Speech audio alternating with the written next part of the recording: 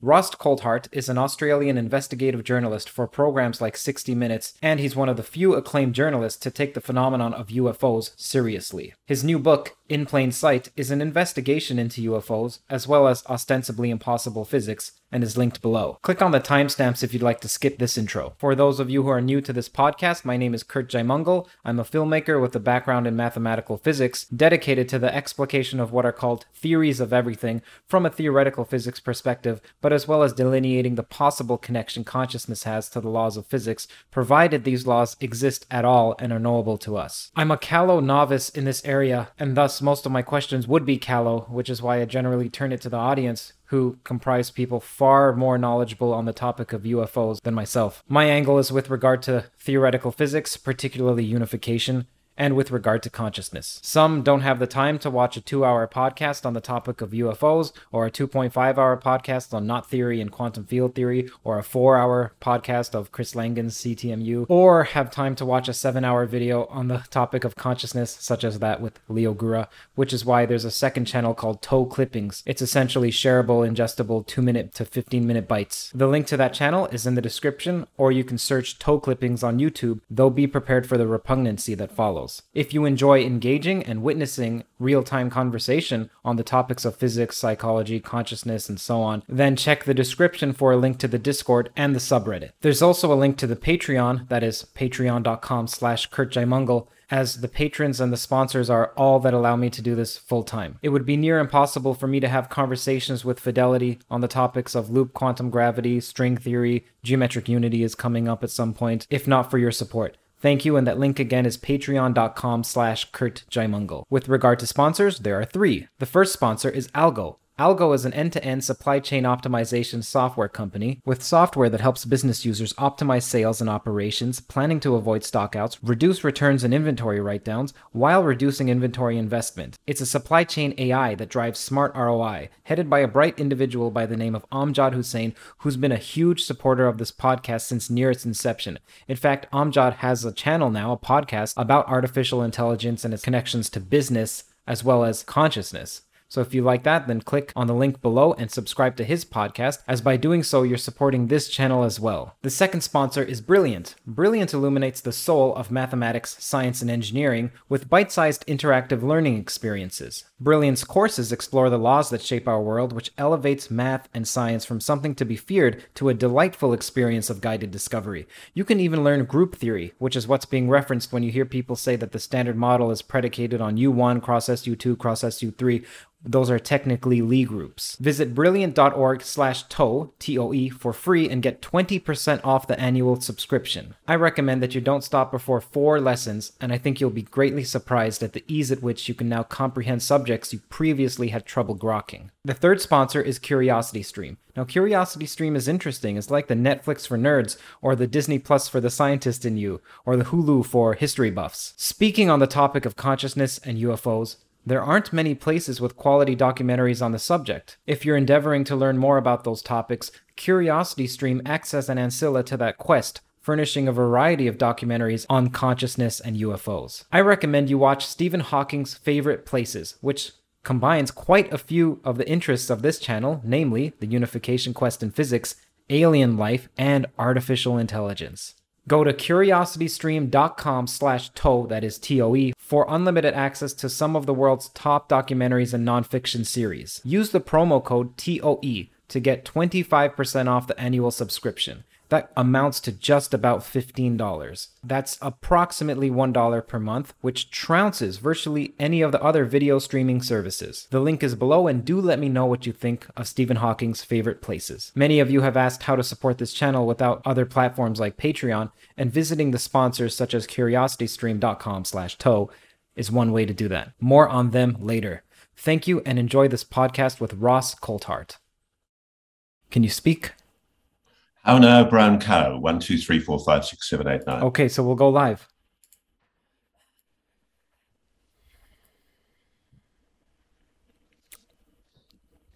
Okay, if you can hear this, see this, then type in Senzu bean. Senzu bean. So Ross, is this your first item of the day, or did you have some other tasks you got to before this? It's my first item of the day. I've just rolled out of bed, to be honest, Curt, and uh, had my, my first my first coffee of the day as well.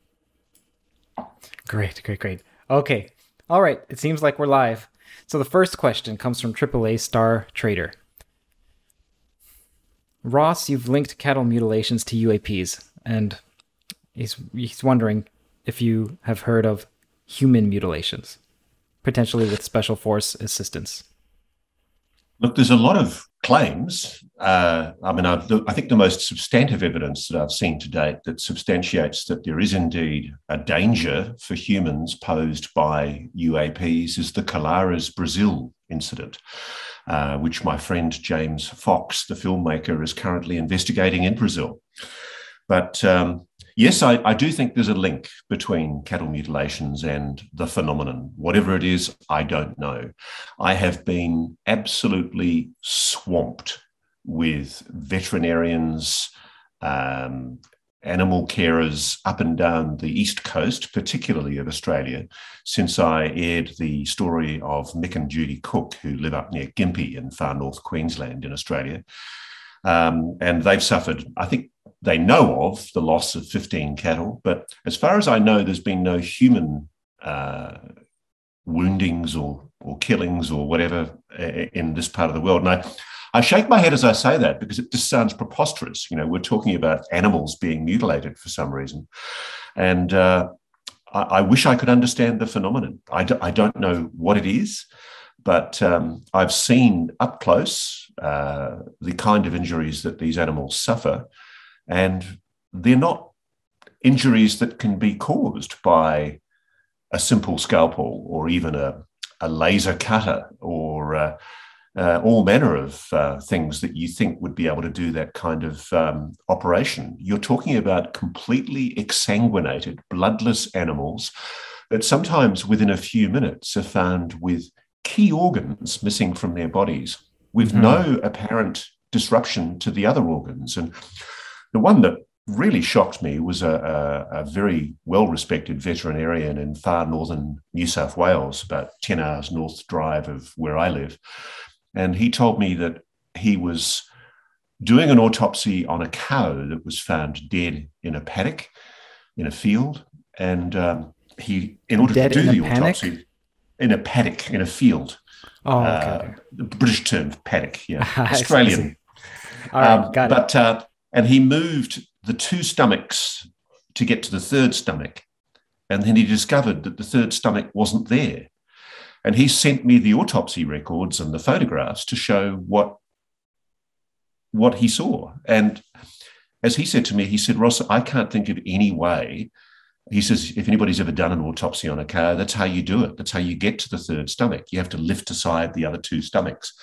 And he said, um, I've never seen anything quite like it because when he got to that third cavity, it just it was empty. Something had removed the stomach, and um, there's an incredible mystery there. And I wrestled with it, to be honest. I wrestled as a journalist with whether I should link cattle mutilations to the phenomenon, but. Um, uh, so many people have contacted me since. I feel very much vindicated in terms of making that decision. I just can't explain it. But in terms of human mutilation, the ones that I do know of are the Brazil Colares case. I've spoken very haltingly with a Spanish friend uh, to, um, uh, what was it, Spanish or Portuguese? She speaks both. But uh, she spoke to uh, some military people that uh, uh, gave me a bit of a background on Colares. And I'm really thrilled to hear that James Fox is now in Varginha, the, the town where a lot of this happened in Brazil. And I'm really excited to see what he comes out with with his film. Alien Alcoholic asks Have you heard of facilities that are housing live aliens? No. Okay. Now, I have a question about those human mutilations. Have you read Robert Dolan's book on the difference? it's like a taxonomy of aliens, like a speciation? The different no, types sir, of aliens? I, uh, Okay. I, I, have I have not. You mean Richard Dolan or uh, uh, yeah, Richard, Richard Dolan. Dolan. Yeah. Uh, no, I haven't. I've read a few books by Richard, notably the two volumes of National Security State, but um, I haven't read uh, his taxonomy of UFO of aliens. No, I haven't. The reason I'm asking is that he would say there are different kinds. So one is a gray, then the other seems to be lizard, one seems to be human esque. And I'm curious if the human mutilations are tied to a specific type. That is to say, are there friendlier types and hostile? I, I don't know. Curt, you, have got somebody who starts. I work on evidence. You know, um, I, I, I don't even know if I accept that there are reptilians or greys or whatever. I mean, I haven't seen them, so I, frankly, I, I, I just don't know whether to buy into that. What I can tell you is, I accept that there is a genuine mystery, that there is an anomalous phenomenon that is manifesting itself to humanity. Uh, it's now being detected by very high tech sensor systems, and the Pentagon has admitted it's real. What they haven't admitted when we're talking about human mutilations is um, cattle mutilations and human mutilations. But privately, you know, people, and also I noticed Chris Mellon actually went on the record with me in my documentary. He he acknowledged, for example, that mutilations were a phenomenon that was real. Um, but when it comes to taxonomy of of aliens, I'm not there yet. You know, I'm not even sure this is alien uh, uh, there's a phenomenon. Uh, I'm, I'm not even sure. I mean, I've spoken to friends who've told me that that they have witnessed uh, uh, non-human entities up close. Uh, I don't know. I just don't know. And and really, I think you just you as a scientist would understand this. Is I'm, i find it very hard to believe anything until I've seen multiple corroboration and um, you know, verified experimentation to prove what I'm seeing is real. Because if you accept that, and this is the case, if you accept that the Undersecretary for the Department of Defense was um, uh, prepared for a briefing, there was a, a briefing prepared called, uh, which included a series of PowerPoints, and one of them was slide nine. And on that slide, it talked about how the Pentagon was advising, or people inside the Pentagon were advising the Undersecretary for the Department of Defense that whatever the phenomenon is, it is capable of manipulating human perception and consciousness. And if you accept that, I mean, I'm not detracting from the claims that people are making about seeing aliens or seeing life forms or seeing entities of some kind. But if you accept that, how do we know what they're seeing is real? Now, I'm not saying it's all a hallucination or an illusion. You know, I've had some very angry uh, experiences or abductee claimants who uh, have jump, jumped on me in the last few weeks for supposedly criticizing their experience. I'm not. But what I'm saying is we have to approach this with a reasonable degree of scientific objectivity. So I'm not yet ready to say this is little green men or reptilians or greys or tall whites or whatever. I've spoken to people who claim to have had these experiences, but unless I can verify them, um, this is the problem I have with a lot of experience experiencer claims. I'm not in their bedroom. I mean, I, I had a conversation with a guy who is, or sorry, was very, very senior in the FBI during my research. And I, I expected to meet this sort of hard headed skeptic about the phenomenon. Instead, he told me that he woke up in the middle of the night and he and his wife were paralyzed, and there were grey, big headed, big eyed aliens sitting at the end of the bed. And he told me this incredible account and, and trusted me to keep his name confidential, but he wanted me to know it was real. And I said to him, but how do you know it was real? You know, how, how do you know you weren't in a uh, some kind of induced dream state. And uh, he, he told me a few things that made me think that maybe he was having a genuine experience. But then I said to him, well, the phenomenon is capable, allegedly, reportedly, of manifesting itself in different ways to humans. In the 19th century, when people looked up in the sky and saw UFOs, they were looking at flying airships, flying ships in the sky. Uh, in the book of Ezekiel, they describe winged chariots. Um, you know, there's been a phenomenon going back thousands of years, but how do we know that whatever it is, it's not manifesting itself to us in ways that allow our brains to comprehend it and manipulating our perception and indeed our consciousness? That's the only question I ask when people start talking about, um, uh, you know, taxonomy of aliens or whatever? How do we know what they're seeing is physically what's there? Speaking of how we know, this question comes from Stan Allister. It's a question I'm sure you've gotten plenty of times and something you've thought about yourself, which is there are many, there are billions of smartphones. Why is it that there aren't clear videos or clear photos? Even though there okay. are clear photos of anomalous events, let's say unexpected events that are rare, such as certain meteorites. There's a few ways to answer that question. The, the first is that um, he's absolutely right. There should be more images, there should be more videos taken. But one of the things that I was struck by when I started looking at the claims that have been made, and I've also spoken to people in various three letter agencies about this, it is quite clear that the phenomenon is capable. I think one of the five observables that uh, Lue Elizondo described was that the phenomenon is capable of remotely interfering with human technology. And Robert Salas, for example, described to me, the Minuteman missile launch commander from the 1960s, described to me how whatever the object was, it was able to manipulate remotely the control systems for his ICBM missiles and shut them all down one by one. I've had conversations with people in Russia who've told me about similar things in Russia, but it was even more frighteningly the other way. All of a sudden, their missiles went up online and were rolled ready, ready for launch, literally one button push from launch. So something is capable of remotely affecting the uh, human technology. Uh, and I know that's mind boggling. And as a hard headed journo, I find it incredible that I'm having these conversations. But this is what the Pentagon has been advised. This is the thing that I find interesting is that a lot of the skeptics and the debunkers have not yet caught up with, with all respect to them, the evidence that is being gathered to show that the Pentagon uh, is aware of things that this phenomenon can do that cannot be explained by known technologies.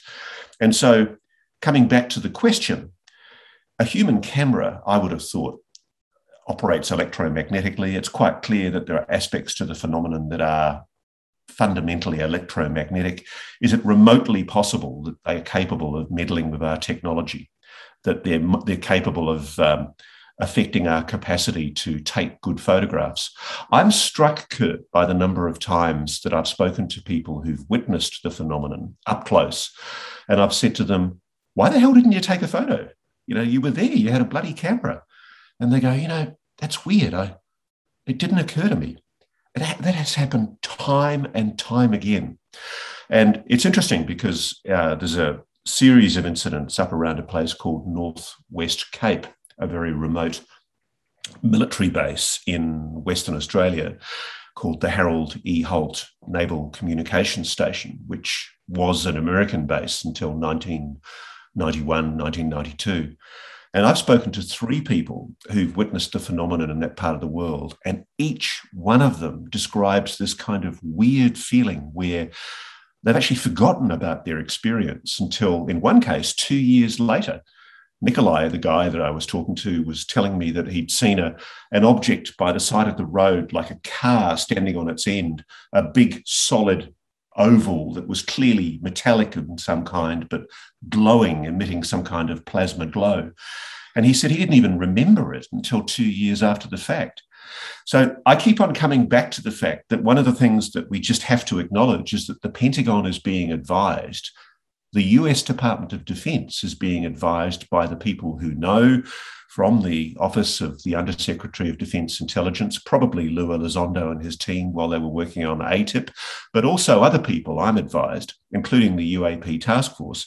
They're being advised that whatever this phenomenon is, it's psycho, psychometric, psychotronic psychotronic weaponry. It has the capacity to meddle with our minds and to meddle with our technology.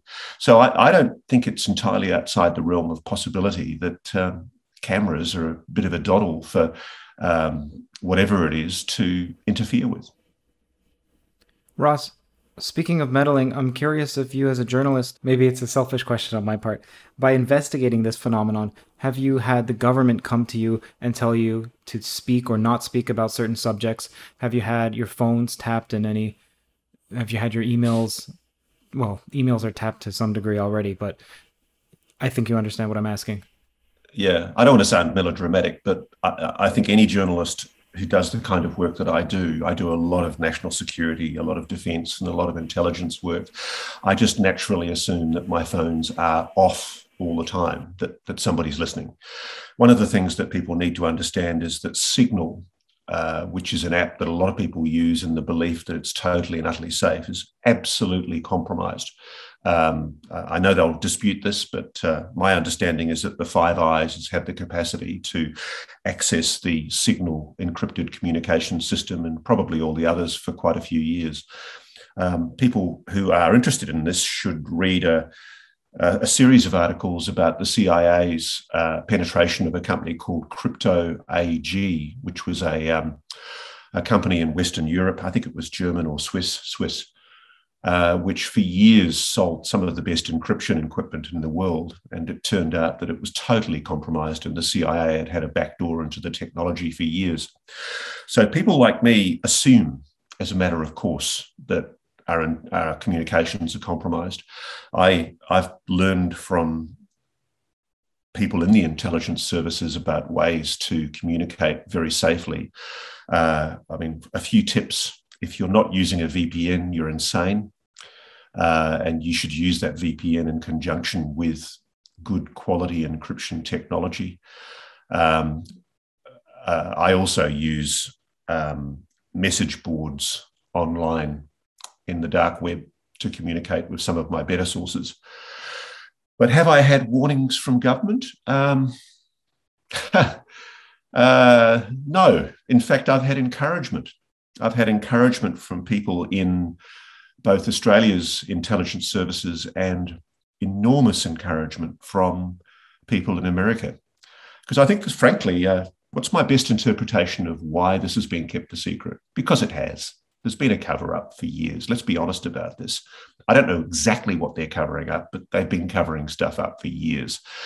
Why have they covered it up? I actually suspect it's as simple as the majority of people who are aware of the phenomenon inside certainly the five eyes that's australia new zealand canada the uk and the us the majority of people who are aware of the phenomenon inside the five eyes aren't briefed into the ultra secret material. So to them it's a genuine mystery. And the people that i've spoken to in the main in the main, the people that I've spoken to, at, at, least at the very beginning of my research, were people who were prepared to privately acknowledge to me that yes, the phenomenon is real, but we're buggered if we can understand what it is. And, uh, uh, you know, I've spoken to people, for example, in our intelligence and defense here in Australia, who've told me that you know, there are objects, mainly orbs, but, but also craft routinely seen around some of our more def- sensitive defense installations, particularly Pine Gap, which is the really super secret base in the middle of Australia that we run jointly with America. Um, and they've said to me that, frankly, their view is the reason it's not talked about is because governments are kind of embarrassed about admitting it that that gov- you know we're spending billions of dollars a year for national defense and the protection of our population. I think America has spent over a trillion dollars since 9/11. And to what effect if there is this technology, this intelligent technology operating in our, our skies, our oceans, and our atmosphere, and, and, uh, and our orbit?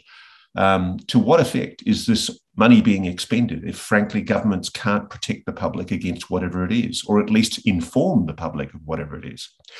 So I, I guess I'm giving you a very long winded answer, but I, I want to give you a, a kind of a cultural understanding of where I sit. I think most people that I've spoken to in defense and intelligence, in agencies that should know, privately admit to me that they are as confounded by the mystery as you and I are.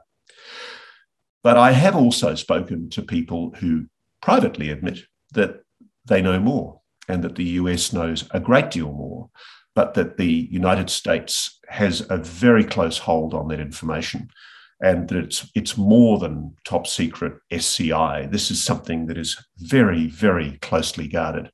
And that the number of people that are actually briefed into it inside the military defense intelligence infrastructure in the United States is actually very few.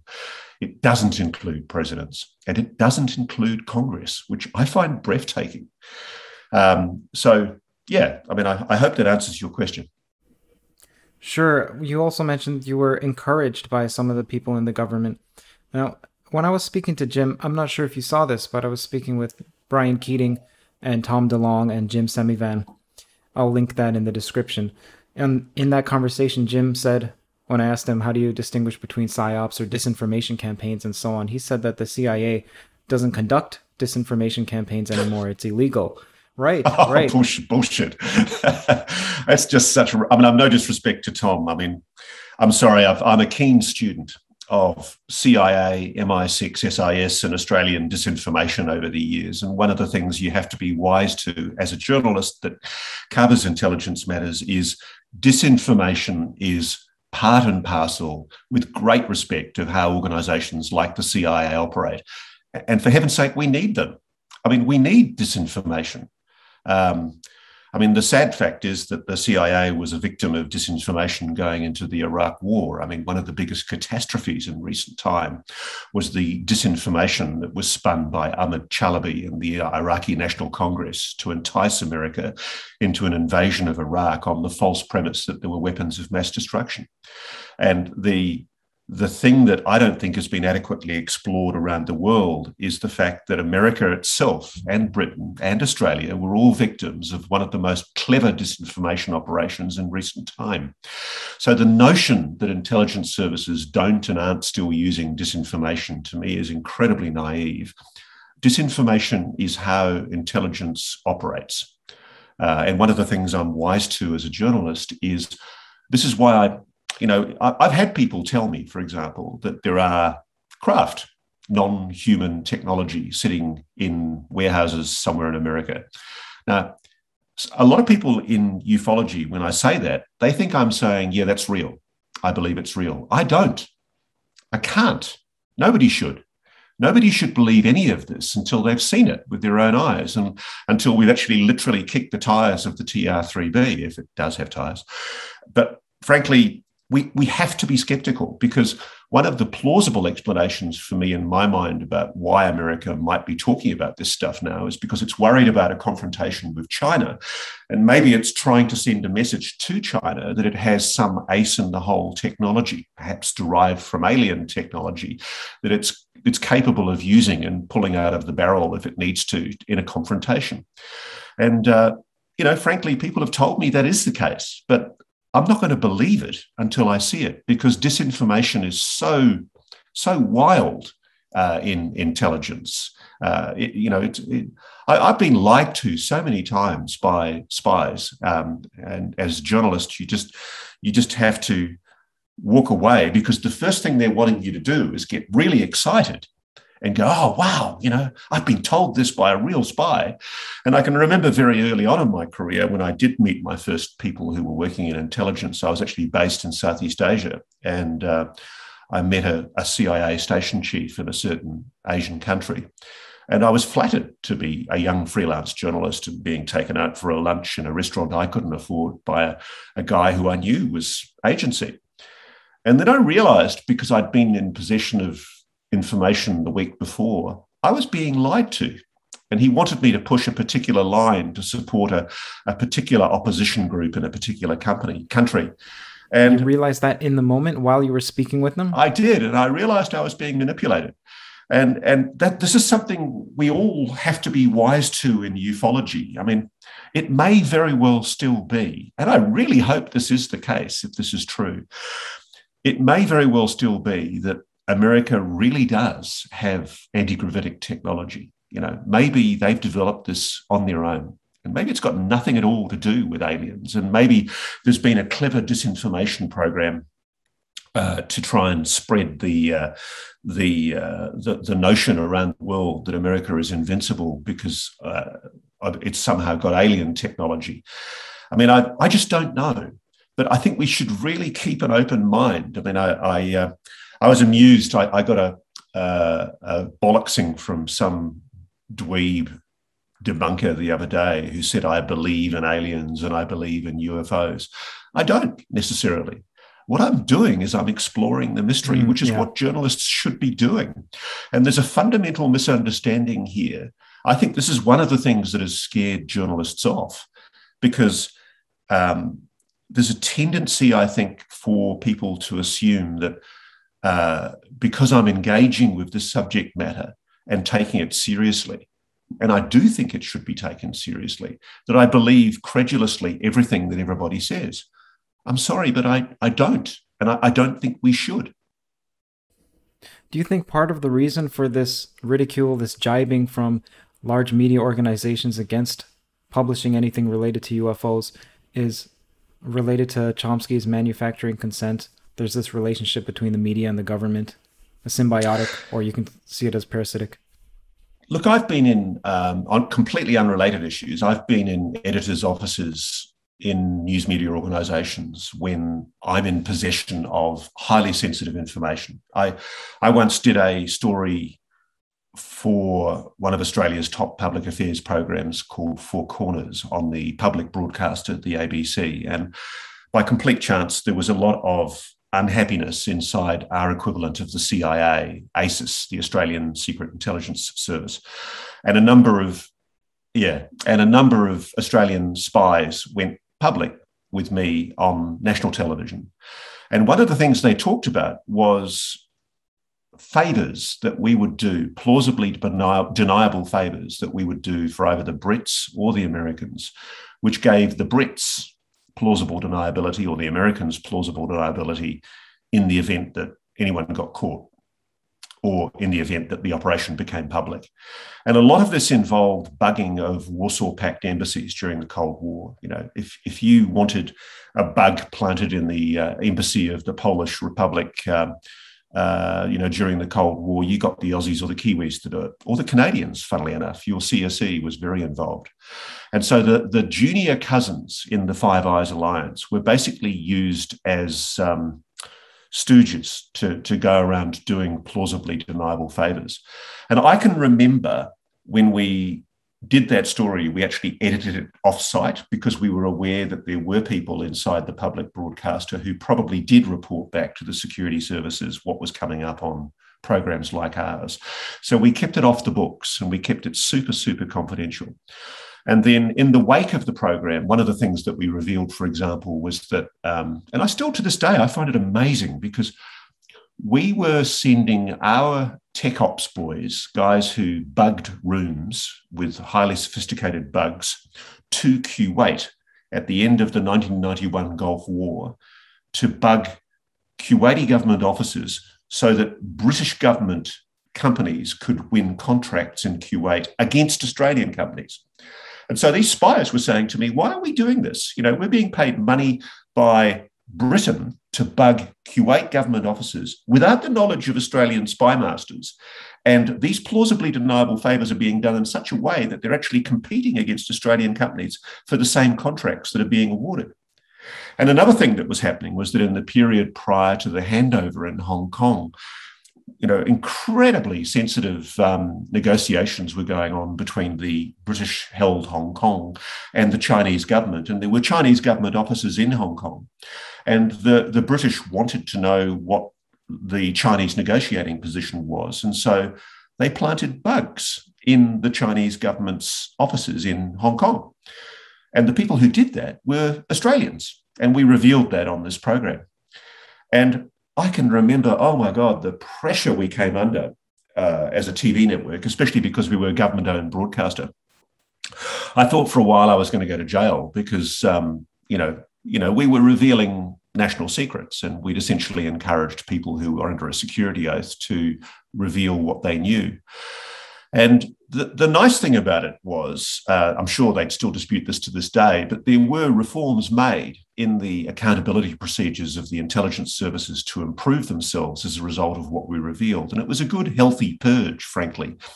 But what it taught me was the the level of undisclosed communication that occurs between government and a news organisation, even a public broadcaster like the ABC in Australia or your CBC in Canada. Um, there are informal chats, there are informal relationships, and it's I'm sure there is surveillance of journalists in this country. I've had reason to believe over the years that, yes, I am being tapped from time to time. I often do sensitive investigations that upset governments. And I guess I just take it for granted that they're going to monitor me. Uh, and one of the things that I'm agonized about is making sure I protect sources. This is one of the big problems for me when I was writing my, my book you know you you agonize about making sure that if you're going to approach somebody and invite them to give information um, you know you need to be able to protect them you have an ethical responsibility to protect them and uh, i've worked out ways of doing this in the course of my research for the book that i hope have protected the confidentiality of some of my more sensitive sources but um, yes uh, there is a nexus between media organisations and government when it comes to intelligence related matters that makes it very, very difficult for me to say that we are absolutely free. And I've seen compromises made inside organisations when we've got big stories, which I find kind of puzzling and irrational. And it, it reeks to me that somebody's ahead of me. I had an incident once where I was investigating um, uh, what are called disruption operations. There were refugees coming on boats from Indonesia across to Australia. And I stumbled by complete chance across a people smuggling disruption operation being run by, I thought, our federal police. And it was done in conjunction with members of our defence forces.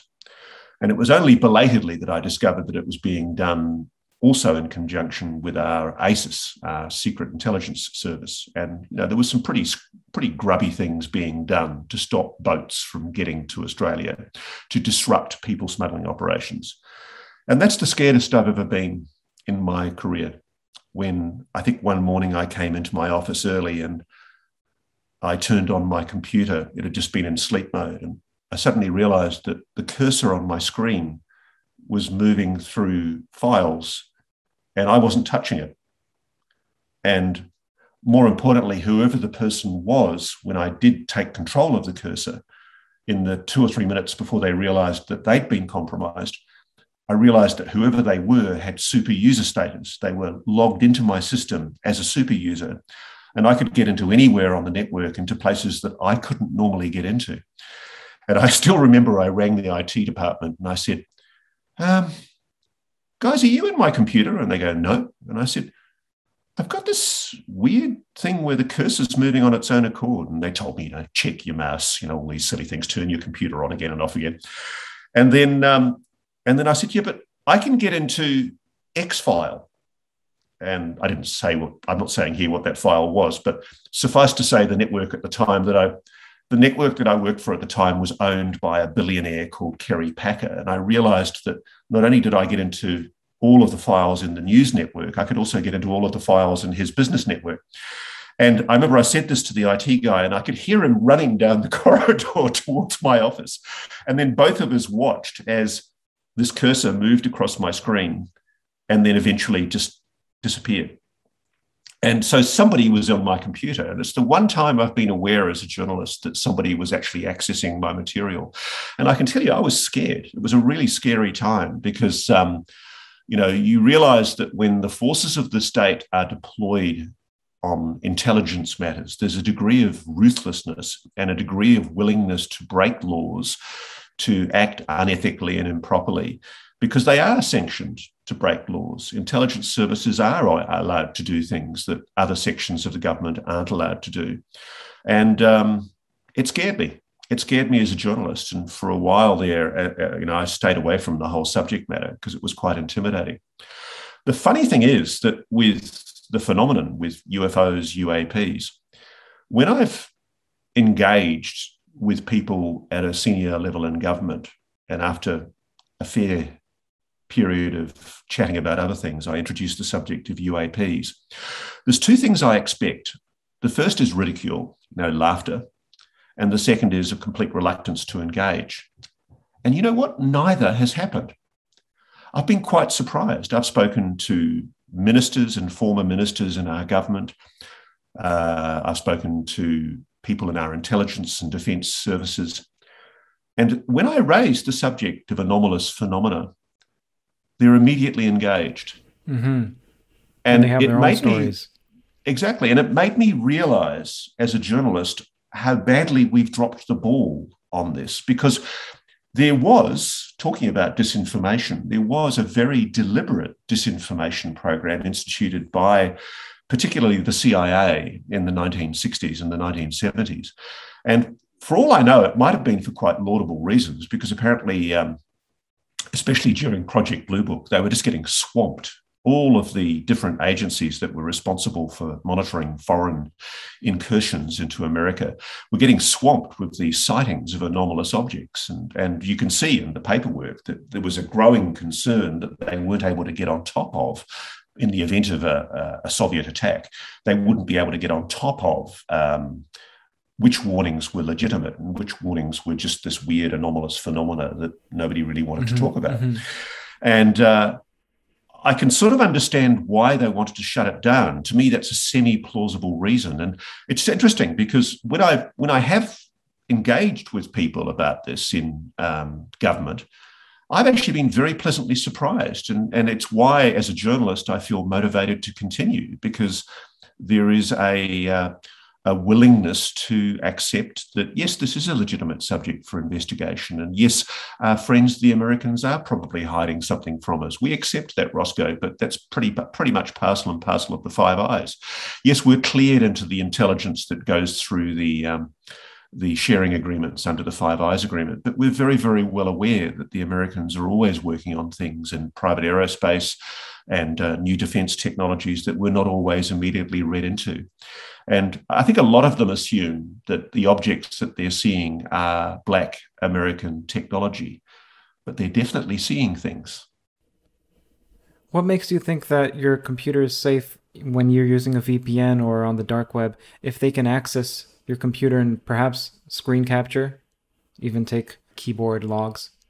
One of the things I regularly do, and I've been doing this for a while, and anybody can do this, is uh, you can download some pretty good virus Trojan checking software from a company called iMazing, uh, who, um, in particular, they've been able to detect the is it NRO Pegasus software, which is this really intrusive software that's been used very aggressively against journalists, including, sadly, the guy who was chainsawed to pieces by the Saudis in uh, Turkey. Um, you know, there's been um, increasingly there's been misuse of intelligence related technologies, particularly those built by the Israelis, who are pretty ruthless in this regard. Um, one of the things I've done a story about, and you can actually, I think you can find this on the web. When I was at 60 Minutes Australia, uh, I did a story that actually CBS 60 Minutes picked up as well on the um, SS7, the signaling system 7 system that operates behind mobile phone telephony, which essentially leaves a backdoor in all mobile phones. These mobile phones that are so ubiquitous that we use around the world now without even thinking, they are wide open to tapping, wide open. It's such a huge hole and it's never been fixed because to fix it, you would actually need to change the whole architecture of mobile phone telephony. And um, I think it's really important that people know this because I assume, as a matter of course, that all communications are compromised. Um, uh, I, I use communications systems that to a lot of people would look insane uh, to protect the security of some of my more sensitive contacts. And that literally involves both of us logging on with a VPN and Tor software going into the dark web and accessing a place in the dark web where we essentially leave messages for each other. That's about the only way a virtual dead letterbox that I can think of of coming anywhere near being able to uh, protect the confidentiality of a secure source. And I'll go to those steps, I'll go to those measures. And I've warned, I've done speeches where I've talked about how wide open mobile phone telephony is. And I see I was shortly before the lockdown was instituted here in Australia. I, I had lunch with a, a federal minister in our government who's in a very sensitive portfolio. And he, he was taking phone calls from his staff on his normal mobile. And I said, Don't you have an encrypted phone? And he went, Ah, they're effing bullshit. You know, he says bloody things, they just slow things down and you can't hear, you know. And I said, Yeah, but you realize how wide open these phones are? And he went, Yeah, yeah, that's what ASD tell me all the time. And ASD is the Australian Signals Directorate. They're the people that um, they do the bugging with the National Security Agency as part of the Five Eyes, but they are also responsible for communications infrastructure security in this country. And um, you know, I know that ministers are warned all the time not to use mobile phones, but what they don't realize, and I, I emulated this in a program where I was in London and a bunch of hackers in Germany, all I'd done was give them my mobile. And I was in London and I said, I'm going to be having a phone call with a federal politician in Canberra, in Australia, at 7 p.m. London time. Can you hack me? And these German hackers from the Chaos Computer Club, uh, working with a German company that um, with legal authorization from the German government, we're using a SS7 portal, which is a portal that opens on the internet to give you access to mobile phone telephony.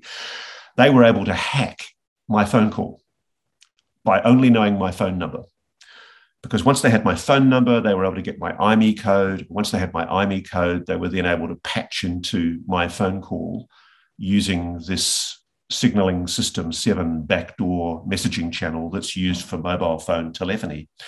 And I really think this is important. And I'm sorry if I'm sounding like a nerd for a moment, but if anybody wants to see my story about this, I'm pretty sure it's on the web. Just Google Ross Coulthart mobile phone telephony, 60 Minutes Australia.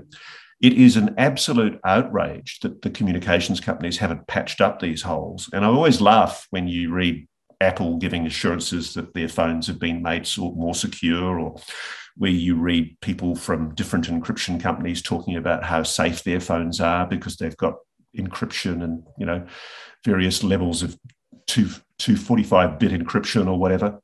The reality is that if you have the back door that exists in mobile phone telephony, mobile phones are wide open. All governments know this, and all spy organizations know this. And a lot of private corporations that sell data know this. And uh, one of the things I did as part of my research was I, I uh, approached companies in the US that freely sell this technology. They offer it for a lot of money to anybody prepared to pay. And you could literally listen in. I could, if I wanted to listen to all of your phone calls, Curt, and I had the money, I could do it tomorrow. And it doesn't matter what you put on your phone. And so people have got to stop thinking that communications are in any way safe. And I say this to journalists all the time. I, I occasionally teach at journalism schools and I say to students, you know, you guys really need to understand the importance of protecting sources. And there's always a kind of a nervousness about it because for millennials, this is how they communicate. This is how they engage. This is how they engage with culture. And what we don't realize is um, how much we've given away as a result of having this easy communication access and what it's doing to investigative journalism. Because uh, I assume, as a matter of course, that if I'm communicating on a mobile phone, any communication is being monitored and listened to. Does that apply to if you're browsing or if you're going on YouTube or messaging over a certain app? Or is it only when you call someone? Uh, it's if you're using your mobile phone either on the web or as a communication tool, they can they can track you. Um, there's no problem. It's very very easy to get hold of anything, any data, any voice message, any data, any anything that's going over your phone if you're using your phone. Um, when it comes to say using your PC or your Apple laptop to um, browse the internet, I mean, sure, you should use a VPN, and I use Tor a lot for confidential communications with sources and for searches where I don't want people to know what I'm searching. There's a great search engine called DuckDuckGo, which is an anonymized search engine. But even then, you should be using that in conjunction with Tor. Uh, and you should be updating the latest versions of Tor. Uh, I'm I'm also, uh, I, I, used for years a thing called PGP, Pretty Good Privacy, which was a, an encrypted um, uh, system. And uh, if people look, they'll find there are very similar systems like that that are, that are commercially available. And uh, again, because of crypto AG, which I told you about earlier, I assume that all of these have got backdoors in them and that a determined state uh, aggressor can access any communications it wants to. I mean, there are Trojans that can be inserted on any mobile phone simply by you receiving that Trojan. You don't even have to click on it. Uh, so, f- frankly, you know, if somebody wants to hack you, they can hack you. Uh, but am I really that important? By the way, someone said that you may be one of the most important per- people in the world because you're breaking this UFO case. Oh, thanks very much. Uh, this comes from the journalist David Bates, who can be followed at David B. Writer. He wants to know given that you've published in a variety of outlets, is there a particular do you work on UFO stories for a particular outlet that you know will back him up? That sorry, that he that you know will back you up? Or do you have to pitch it to an editor? I guess what I'd really like to know is is it possible that Ross's work may appear in the New York Times and may even collaborate with Leslie Kean? Um, I work as a freelance journalist. Until a few years ago, I was working as an investigative reporter for Australia's 60 Minutes program.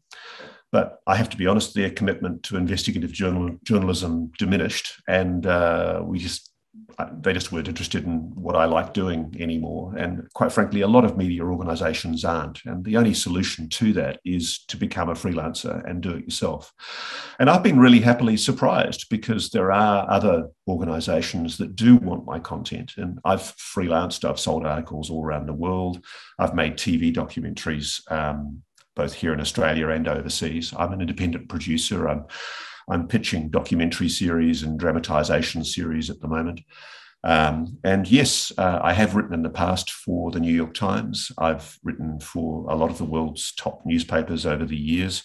Um, and I make documentaries. And as people would know, if you go to the Channel 7 Australia Spotlight program, if you just go into YouTube and put in 7 Channel 7 Spotlight UFO, you'll be able to access for free the on YouTube the program that I made called the UFO phenomenon. And I think in its current iteration, it's got about two and a half million to three million views alone. And that's the second or third time we've put it up on YouTube. So I think we're now five or six million views, which is just mind boggling. And so, yeah, I, I'm finding that it's quite funny. Uh, in the past, I've had media organizations that are quite reluctant to engage with the subject of UFOs because they're worried about stigma or ridicule. But the lesson from the UFO phenomenon, which I published in late uh, uh, late May, I think it was. God, time flies. But the, the lesson from that film is the audience know what the audience wants. I, I, I have just been overwhelmed in the last few months. I'm physically and mentally exhausted at the moment from the, the scale of response that I've had to both my book and also to the film. And it's very gratifying. I mean, the one thing a journalist loves more than anything else is knowing that his audience are actually engaging with and taking an interest in the journalism that you make. And uh, that's certainly the case with, with subject matter like UAPs, UFOs. And uh, I find it very gratifying, but also the media organization that I have the closest relationship at the moment, which is a huge commercial network called Channel 7 Australia. I work for uh-huh. them as a contribute as a contributing freelancer. They are desperate for me to do more UFO stories because wow, it, well, that's great. They, they, they they rate their socks off. You know, they've discovered that the public are really interested in this subject matter. And and I was saying to them, I can remember uh, I went for lunch with uh, a couple of the guys behind the program late last year, and I said, "Oh, look, I've got this, um, I've got this documentary that I want to do about UFOs," and I sort of waited for them to giggle nervously, and um, instead they went, "Absolutely, we really want it," and and it, yeah. Yeah, and, and it's interesting because they're getting the same level of response. You know, they've never had a response like this to a story before. I mean, a TV network in Australia does not get five or six million views on YouTube for a story. And the reason why they're getting this response is because you know, I'm I'm fulfilling a need. People are interested in this subject matter, and I, I hope, I, I, pray that I'm engaging with it in an objective and fair and impartial way, and using the skill set that I would normally use as an investigative journalist to analyze anything. And I think that's what people are responding to. That, um, right. with no, dis- no disrespect to any of my peers, one of the problems I have with ufology is I think there's far too much a glib acceptance of assertions. You know, we people want it, even though they, they want to believe. I, am not into belief. When people ask me, do I believe in UFOs? I say, look, I just don't know. I really don't know. What I do know are certain things. There is, there is an anomalous phenomenon that is clearly engaging with humanity. Uh, I don't care what the debunkers or the skeptics say. When I had my meetings with different people from different three letter agencies in the US, um, and conversations with people in your country, Australia, New Zealand, and Britain and France, it became immediately clear to me that the military and intelligence services of all of our countries are very aware of the reality of the phenomenon, and they are not able to offer prosaic explanations for that phenomenon. And to use Lue's observables, they are, they're doing hypersonic maneuvers, tens of thousands of kilometers an hour, they're real solid objects. Lue uses the term, I notice, craft, vehicle more often. He started out saying objects, but increasingly, have you noticed, he's, he started using mm. the word craft or vehicle.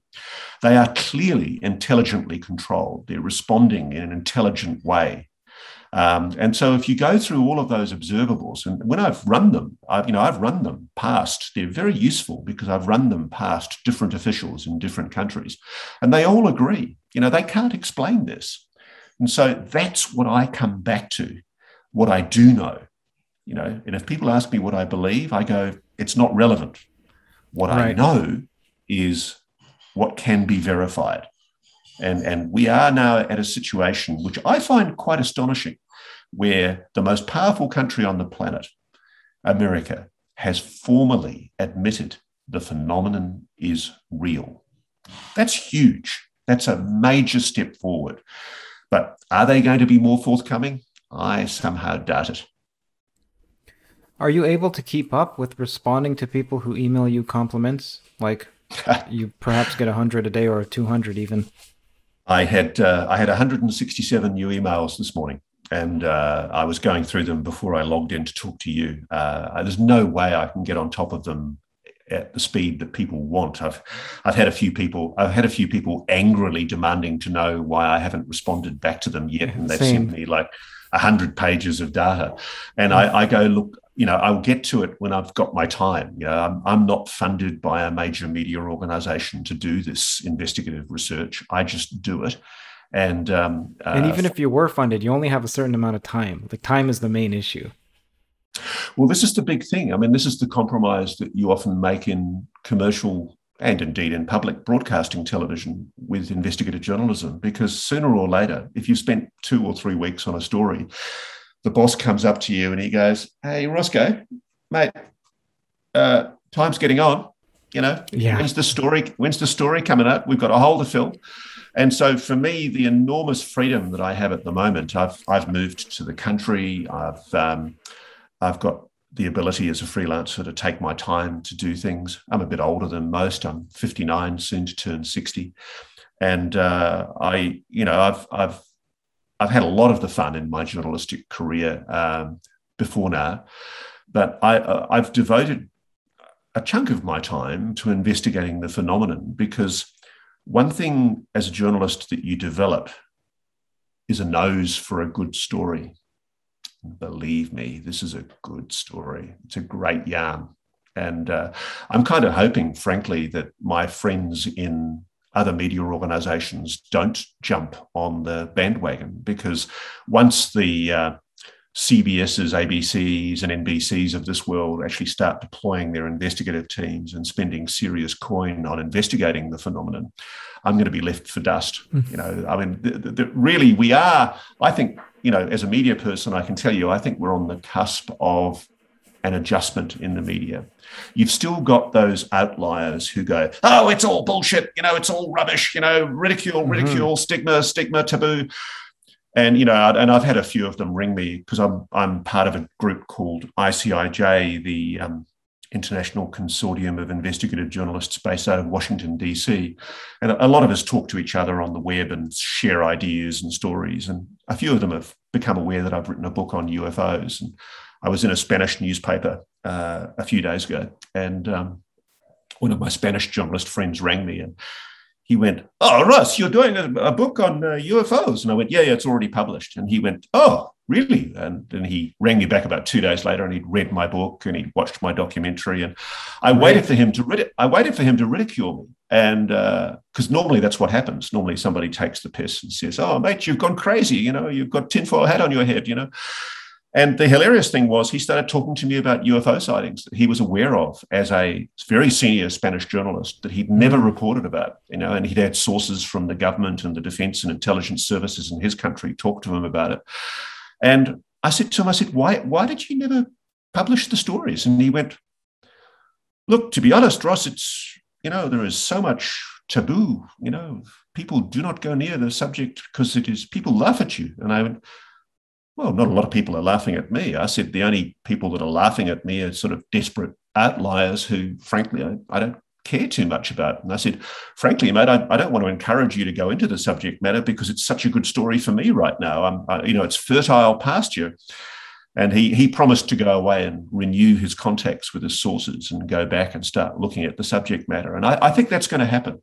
I think there's a cultural change happening here. And the media normally take about a year or two to catch up with what's really happening. And I think what we're going to see eventually is an adjustment. The media will start engaging with um, UAPs as a legitimate subject matter for investigation. Man, there's so much.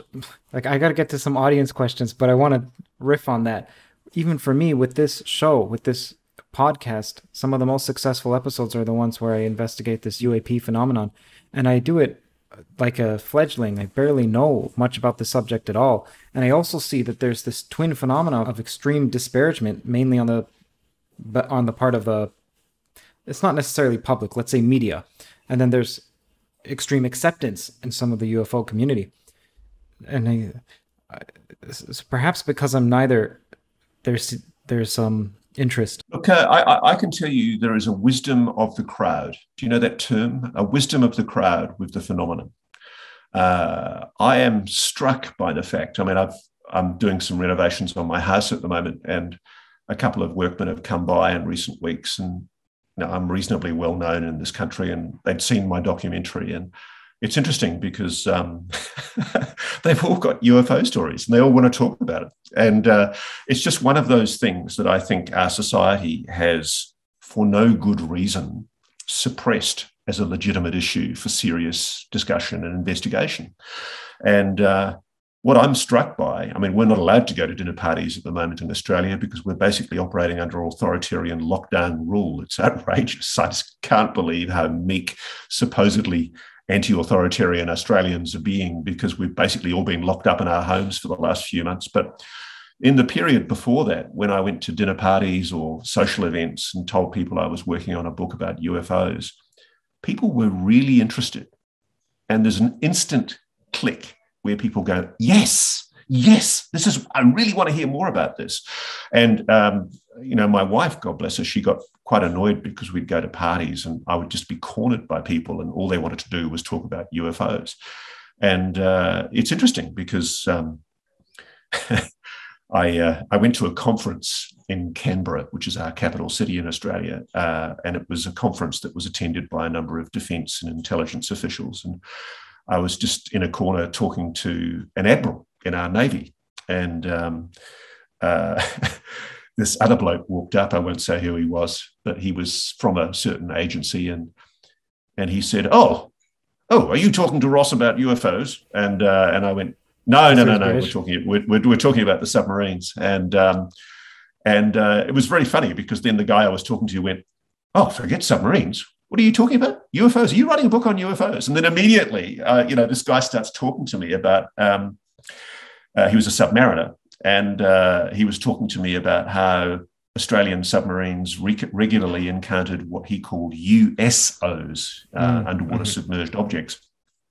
And so this whole conversation took off where I found myself in a corner at a conference with these uniformed officials who were all like little schoolboys gasbagging away to me about um, the phenomenon that they'd witnessed during their younger careers and how puzzled and, and, and mystified they were by it. And uh, I ventured to suggest, I remember one of them, I said, look, do you think the Americans know a lot more than they're, they're letting on? And he just tipped his head back and went, oh, of course they do. Of course they do.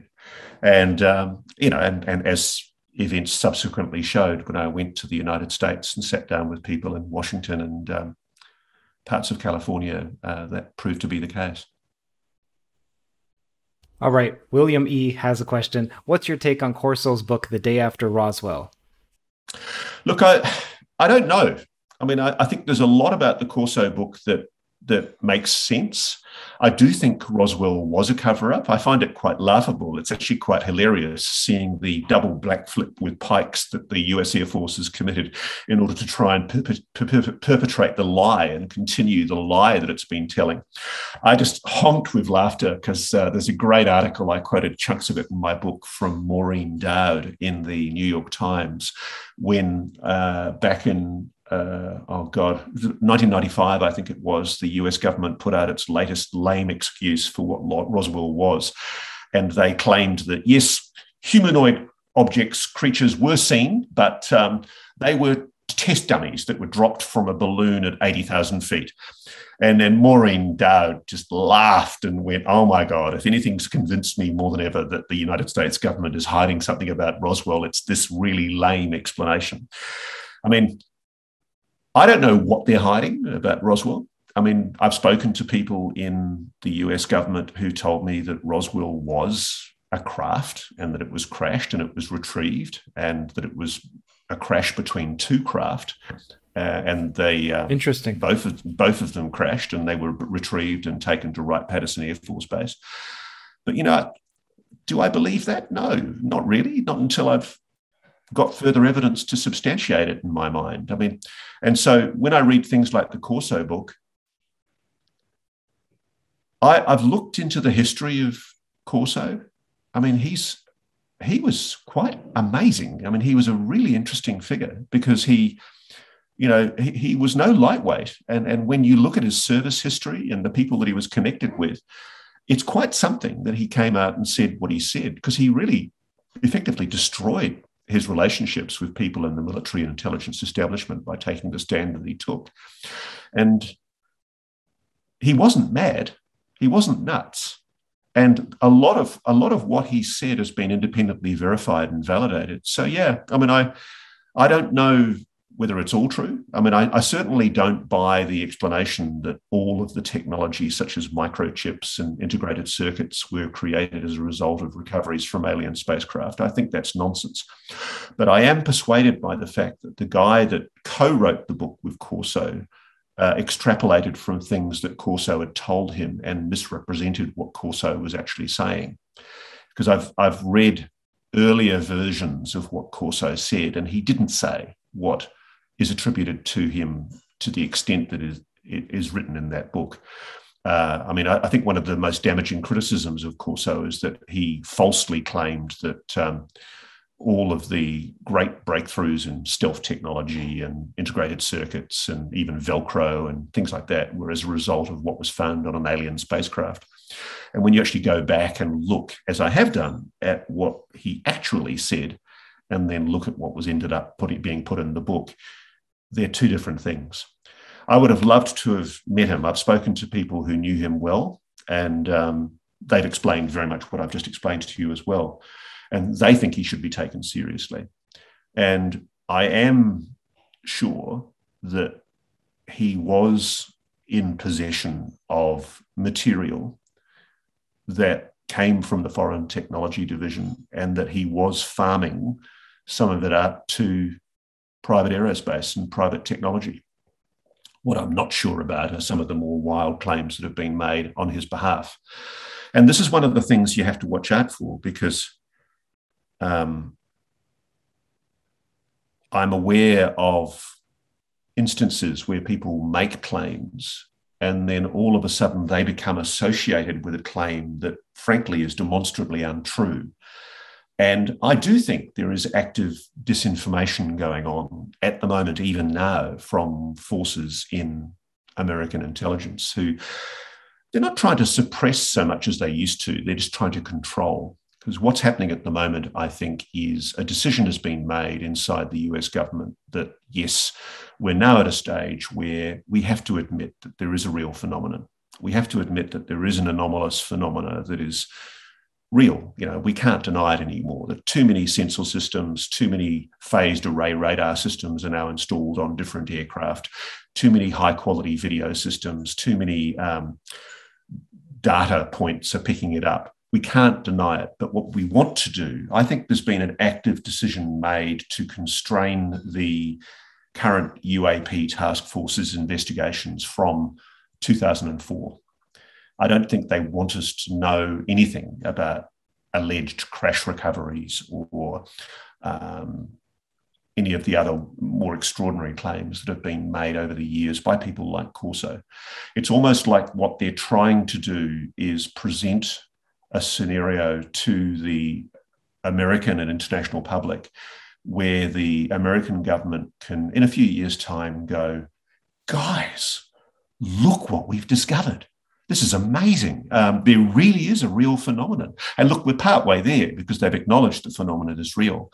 But I suspect we'll be told that, you know, there is perhaps some intelligence that we don't yet comprehend that is operating in our on our planet. I, I do. I, I really do suspect that. And I've been led to that belief by people who know. But I do believe that hopes that we're going to see disclosure of the truth behind crash recoveries, the truth behind alleged alien retrievals, the truth behind mutilations and MILABs and abductions. I don't think we'll ever see that. And I think what's happening at the moment is there is a desperate, I do believe, by the way, that the United States has recovered what it believes is non human technology. There, I've said it. Yeah, yeah. I think that I think I think the level of proof is sufficient in my mind to assert that there is non-human technology in the hands of the US government. But I don't think it wants anybody to know that.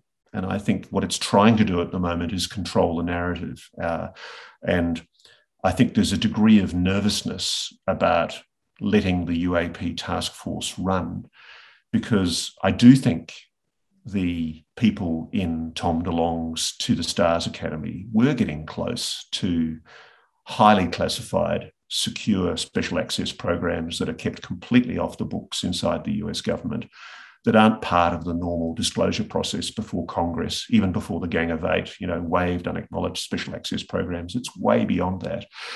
And I do believe that the US is sitting on technology that it's trying to suppress its knowledge of its existence. And I don't know how they're going to get away with that. And it, it worries me because it raises accountability issues. Uh, you know, why hasn't the Congress been informed? Why have presidents been kept in the dark? Um, what have presidents been told? Uh, you know, for example, I, it's quite obvious to me if you look between the lines of what both Obama, Trump, Clinton, Jimmy Carter have all said. It's quite obvious that presidents have been briefed in to some degree. But what have they been told? You know, uh, is, there a group of generals and intelligence people inside the uh, the Pentagon and the CIA who are trying to control the narrative. I, I, I suspect there is, and I, I, think there's a battle going on inside different intelligence agencies in the US to try and one one group is more open and transparent and thinking that they're duty bound under the constitution to be more open and obliging to reveal what they know because there's no good reason not to reveal it but there's another group that probably also because of religious ardent zealotry are reluctant to see the full story told. I think for a lot of people who are of extreme religious faith, and that's not to be in any way critical of people who are believers, um, I think a lot of people, because I do think, you know, I, I, think the Vatican, for example, has made it quite clear that if you are religious and if you believe in ETs, we are they are all God's children. You know, I, I don't mm, think the idea wow. of alien life is incompatible, and people should take a closer look at what religious institutions like the Vatican have actually said about this. But um, I'm told, and I've been told this by multiple sources, that there are people of extreme conservative religious viewpoints inside the CIA and also inside the Defense Intelligence Agency and other agencies who are hostile to revealing the extent of what the US government knows. And I do know because they believe they it's connected to what's demonic. They think it's demonic. They think it's satanic, and who knows? I mean, I, I'm not religious, but it might be. Maybe we're all going down a very dangerous path. Right. Okay, so this question comes from Harry White. He wants to know if you've seen any orbs or any UFO phenomenon, or and or what is his opinion with the summoners? Summoners. I don't know what he means. Oh, you mean CE5, that sort of thing. I'll assume that's what he means. Okay. Um, I, I, I haven't had any direct experiences myself with the phenomenon. I wish I had. I'd love it if make your job easier. Green, ah, wouldn't it be fantastic? I've, I, I have been. There's a guy called Damien Nott, N O T T, here in Australia, who's quite astonishing with his ability to know when the phenomenon is about to manifest itself. And I remember he was, I was sitting with him on a sofa in his house in Pennant Hills in northeastern Sydney and uh, northwestern Sydney, and he just suddenly went, "Oh, excuse me," grabbed a camera, went outside, pointed it up in the air, and got vision of an object moving erratically across the sky. And I said, "How did you know that that was going to be there?" And he went, "I, I, I don't know. I just don't know." But um, I commend his work. He's, he, he did an excellent film called Australien Skies, alien as in A L I E N. Um, but um, he's just got the most extraordinary collection of um, objects that he's seen. And he does seem to be able to mentally engage with the phenomenon. I mean, and when, when I've got, as I have done, I've got people in defense and intelligence in the US telling me that whatever this phenomenon is, it engages in a mental way and almost a telepathic way with human beings. I mean, I, I, you know, debunkers can scoff as much as they like. You know, I, I mean, when, when, people are telling me this, I I, uh, I can't dismiss it. And more importantly, I've I've I've seen people who purport to be able to do what um, I think Stephen Greer calls uh, CE5. And, um, you know, I've, I, I can't dismiss it. Speaking on the topic of consciousness and UFOs, there aren't many places with quality documentaries on the subject. If you're endeavoring to learn more about those topics, Curiosity Stream acts as an ancilla to that quest, furnishing a variety of documentaries on consciousness and UFOs. I recommend you watch Stephen Hawking's Favorite Places, which combines quite a few of the interests of this channel, namely the unification quest in physics, alien life, and artificial intelligence. Go to curiositystream.com slash TOE, that is T-O-E, for unlimited access to some of the world's top documentaries and nonfiction series. Use the promo code TOE to get 25% off the annual subscription. That amounts to just about $15. That's approximately $1 per month, which trounces virtually any of the other video streaming services. The link is below, and do let me know what you think of Stephen Hawking's favorite places. Okay, this question comes from Poop Dig. What does he think? I know. what does he think of Admiral Wilson? I mean, why does he think Admiral Wilson docs are legit? And I believe you've explained this in your in plain sight, but if you can give it to people. Yeah who haven't uh, read that book. actually, actually, if he reads my book, he would see that I concede at the end of my analysis of the Admiral Wilson documents that we cannot reach any conclusion about them until and if either Tom Wilson or Eric Davis concedes that the documents are a real account of a real conversation. Um, I do believe that there is a strong body of evidence to suggest that the provenance of the documents is very, very solid. And uh, I write about a guy to whom I give the pseudonym in my book, The Spaceman. And uh, he was a very, very close friend of um, Edgar Mitchell.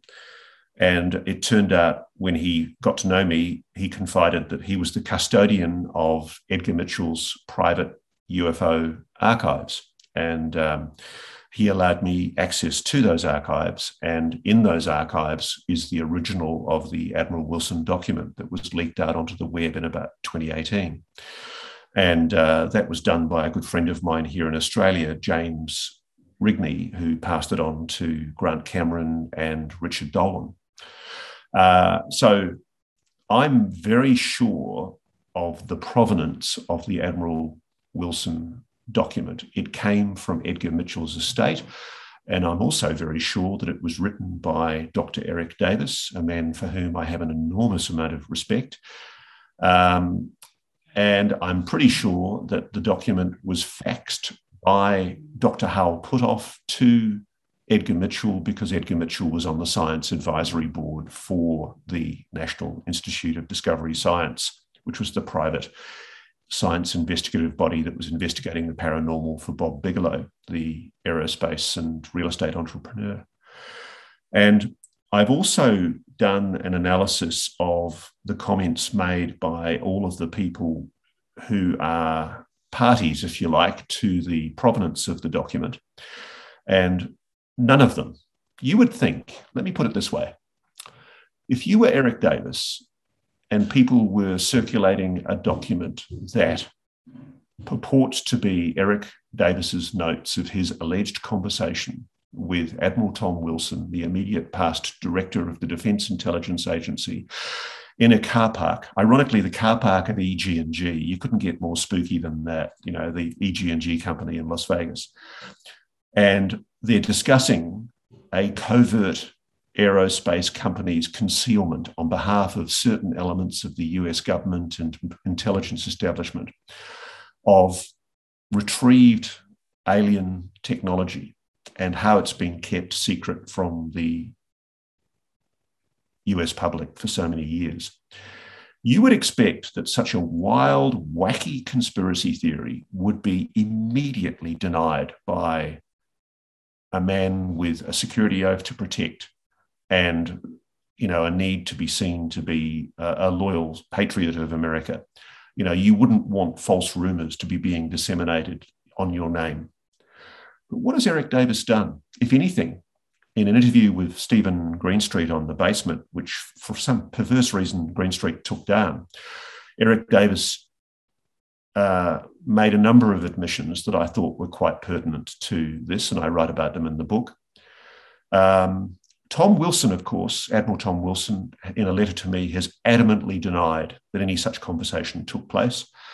But on analysis, at the end of all of it, whilst I say I cannot rule out the possibility that the document is real and that it records a valid conversation and possibly real events, because I can't get anybody on the record to prove the document, to, to establish that it is a genuine record of essentially a truthful conversation, and that that truthful conversation records actual facts, actual reality, not disinformation. Um, I'm not prepared to assert that the Admiral Tom Wilson memo is for real. Uh, so, contrary to what your interrogator poses, I'm not saying that I have validated it to my satisfaction that it records real events. What I have said is that there are aspects of the uh, responses from the different parties that don't make sense if that document is a fake. Because don't you think, I mean, this is a guy, Eric Davis works for Aerospace Corporation and he's working on apparently uh, propulsion technologies, next generation propulsion technologies. There is no doubt in my mind he has to have a top secret SCI compartmentalized security clearance in order to do that. So he has to be positive vetted to make sure that he's a, um, a decent man who's allowed to be given America's most sensitive secrets. Don't you think that if he was aware that a memo was fake, he'd say so. And he's never done that. And that to me is the most conspicuous part of the entire Admiral Wilson document saga. I know it's complex, but it really is worth people getting their heads around. And that's why I went to a lot of trouble to write about it in my book. I wanted people to understand the history of the document and how it was that Admiral Wilson allegedly came to make those inquiries, because all credit to Dr. Stephen Greer interestingly, who's long mocked and ridiculed by a lot of people in uh, UFO research. It was he who initiated with Edgar Mitchell a meeting with Admiral Tom Wilson in 1997 that kicked the ball off. The ball off. And Tom admitted to me that meeting took place. And there are five people um, Stephen Greer, Edgar Mitchell, Shari Adamiak, Commander Willard Miller, and I think one other who were all present and who heard allegedly Tom Wilson making admissions about his inability to get to the bottom of the truth of the matter about UAPs. So you have to take into context the assertions of all of these people as direct witnesses with what is being said by a past director of the Defence Intelligence Agency who makes it very, very clear in the memo in question that if it ever becomes public, he would have to lie about it. And nobody is to say anything, frankly, in my view, that should detract from the fact that Admiral Tom Wilson is an honourable, decent, loyal patriot. If I was in his position, that's exactly what I would do. He's bound by a security oath. And frankly, it may very well be that there is some solid national security reason that you and I don't yet know that explains why we're not allowed to know this stuff. That's one thing I've, I've been really struggling with. And I just want to make this point. And frankly, if there's anybody out there from any of those three letter agencies that's watching this, I'm wide open to this because this has happened to me before. I once became aware of a military deployment by Australian forces overseas, and I was given a heads up that it was happening. And I queried the Defence Department about it, and I was asked not to run it. And I didn't run it because there was no good reason for me to jeopardize the safety of Australian troops being deployed overseas just for a story.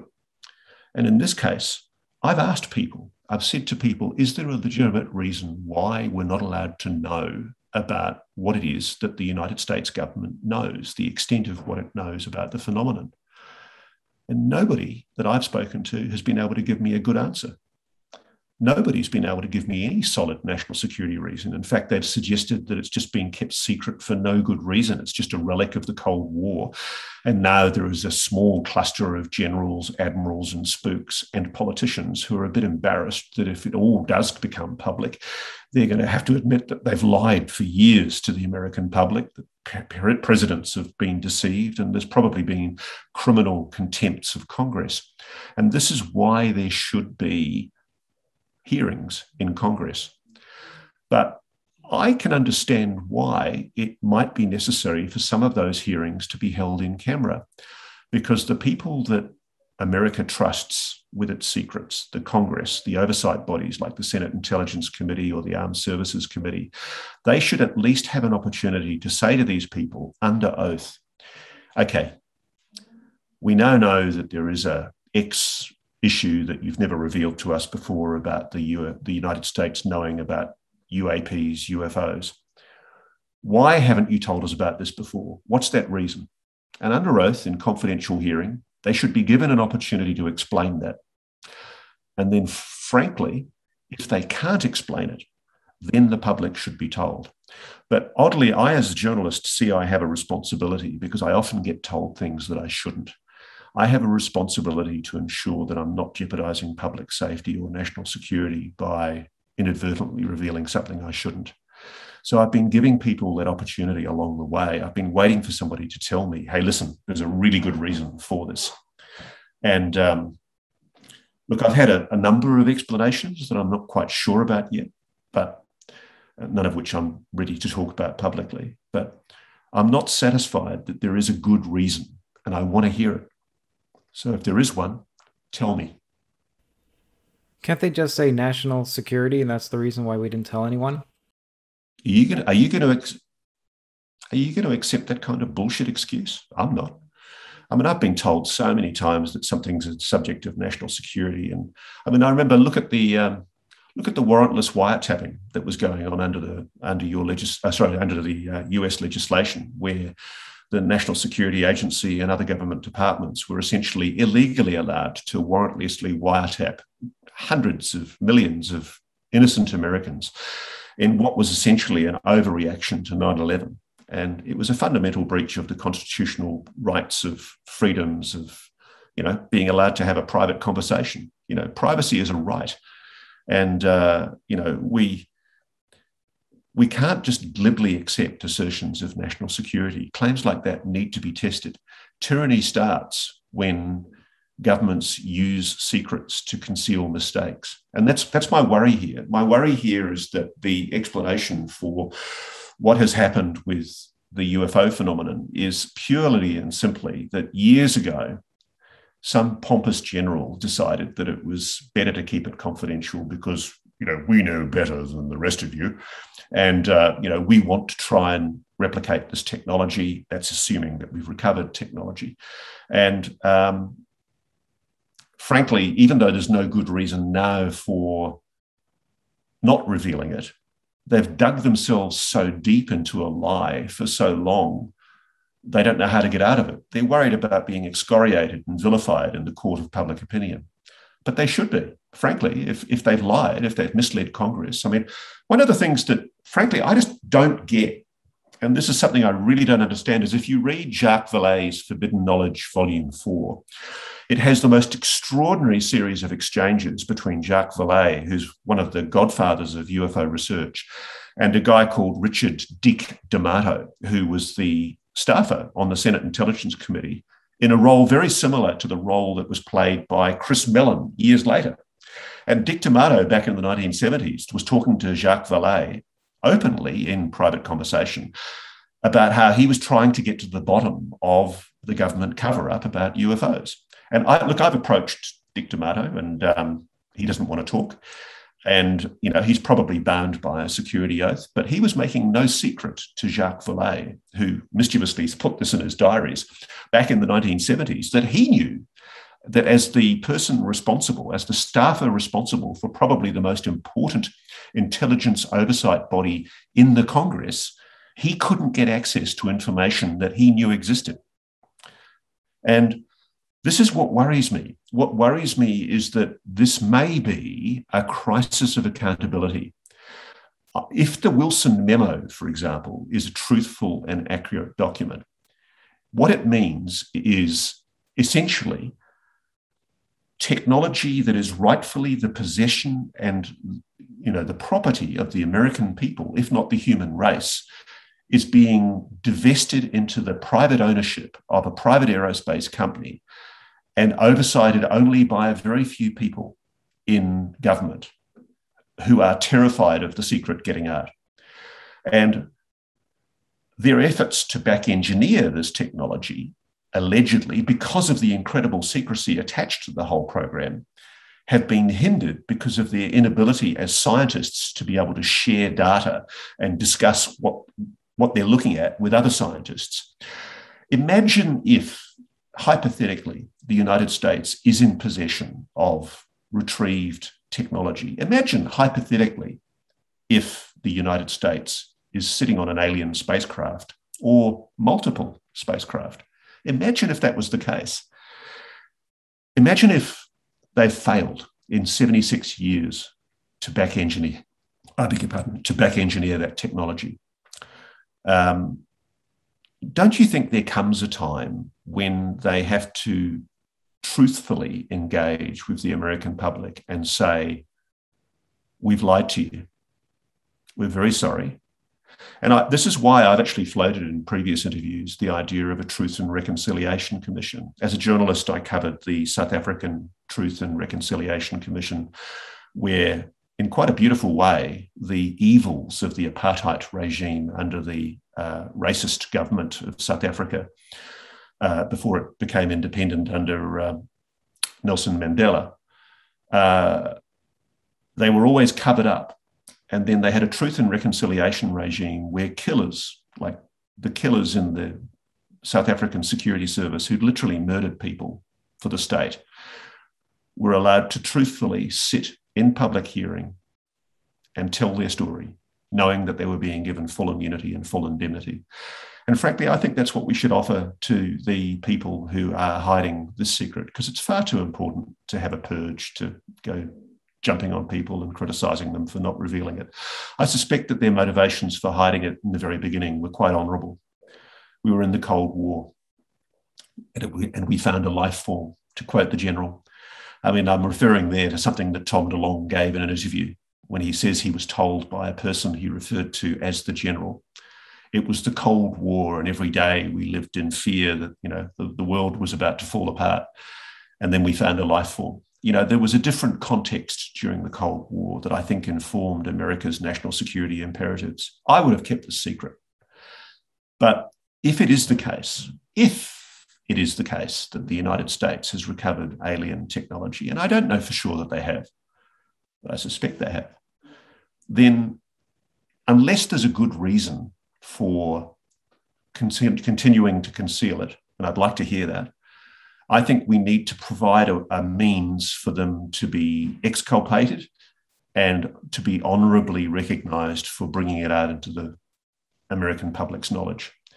Because let me just be a whimsical person for a moment and discuss what I love about America. As a little boy, I remember looking up at the moon and thinking how incredible it was that a country on my planet had put men on the moon. You know, it was just unimaginable to me as a little boy. And I had all my Apollo moon mission models, and I was fascinated with the idea that, you know, a nation had collaborated scientifically in such a short period of time to do incredible things. You know, what a monumental achievement.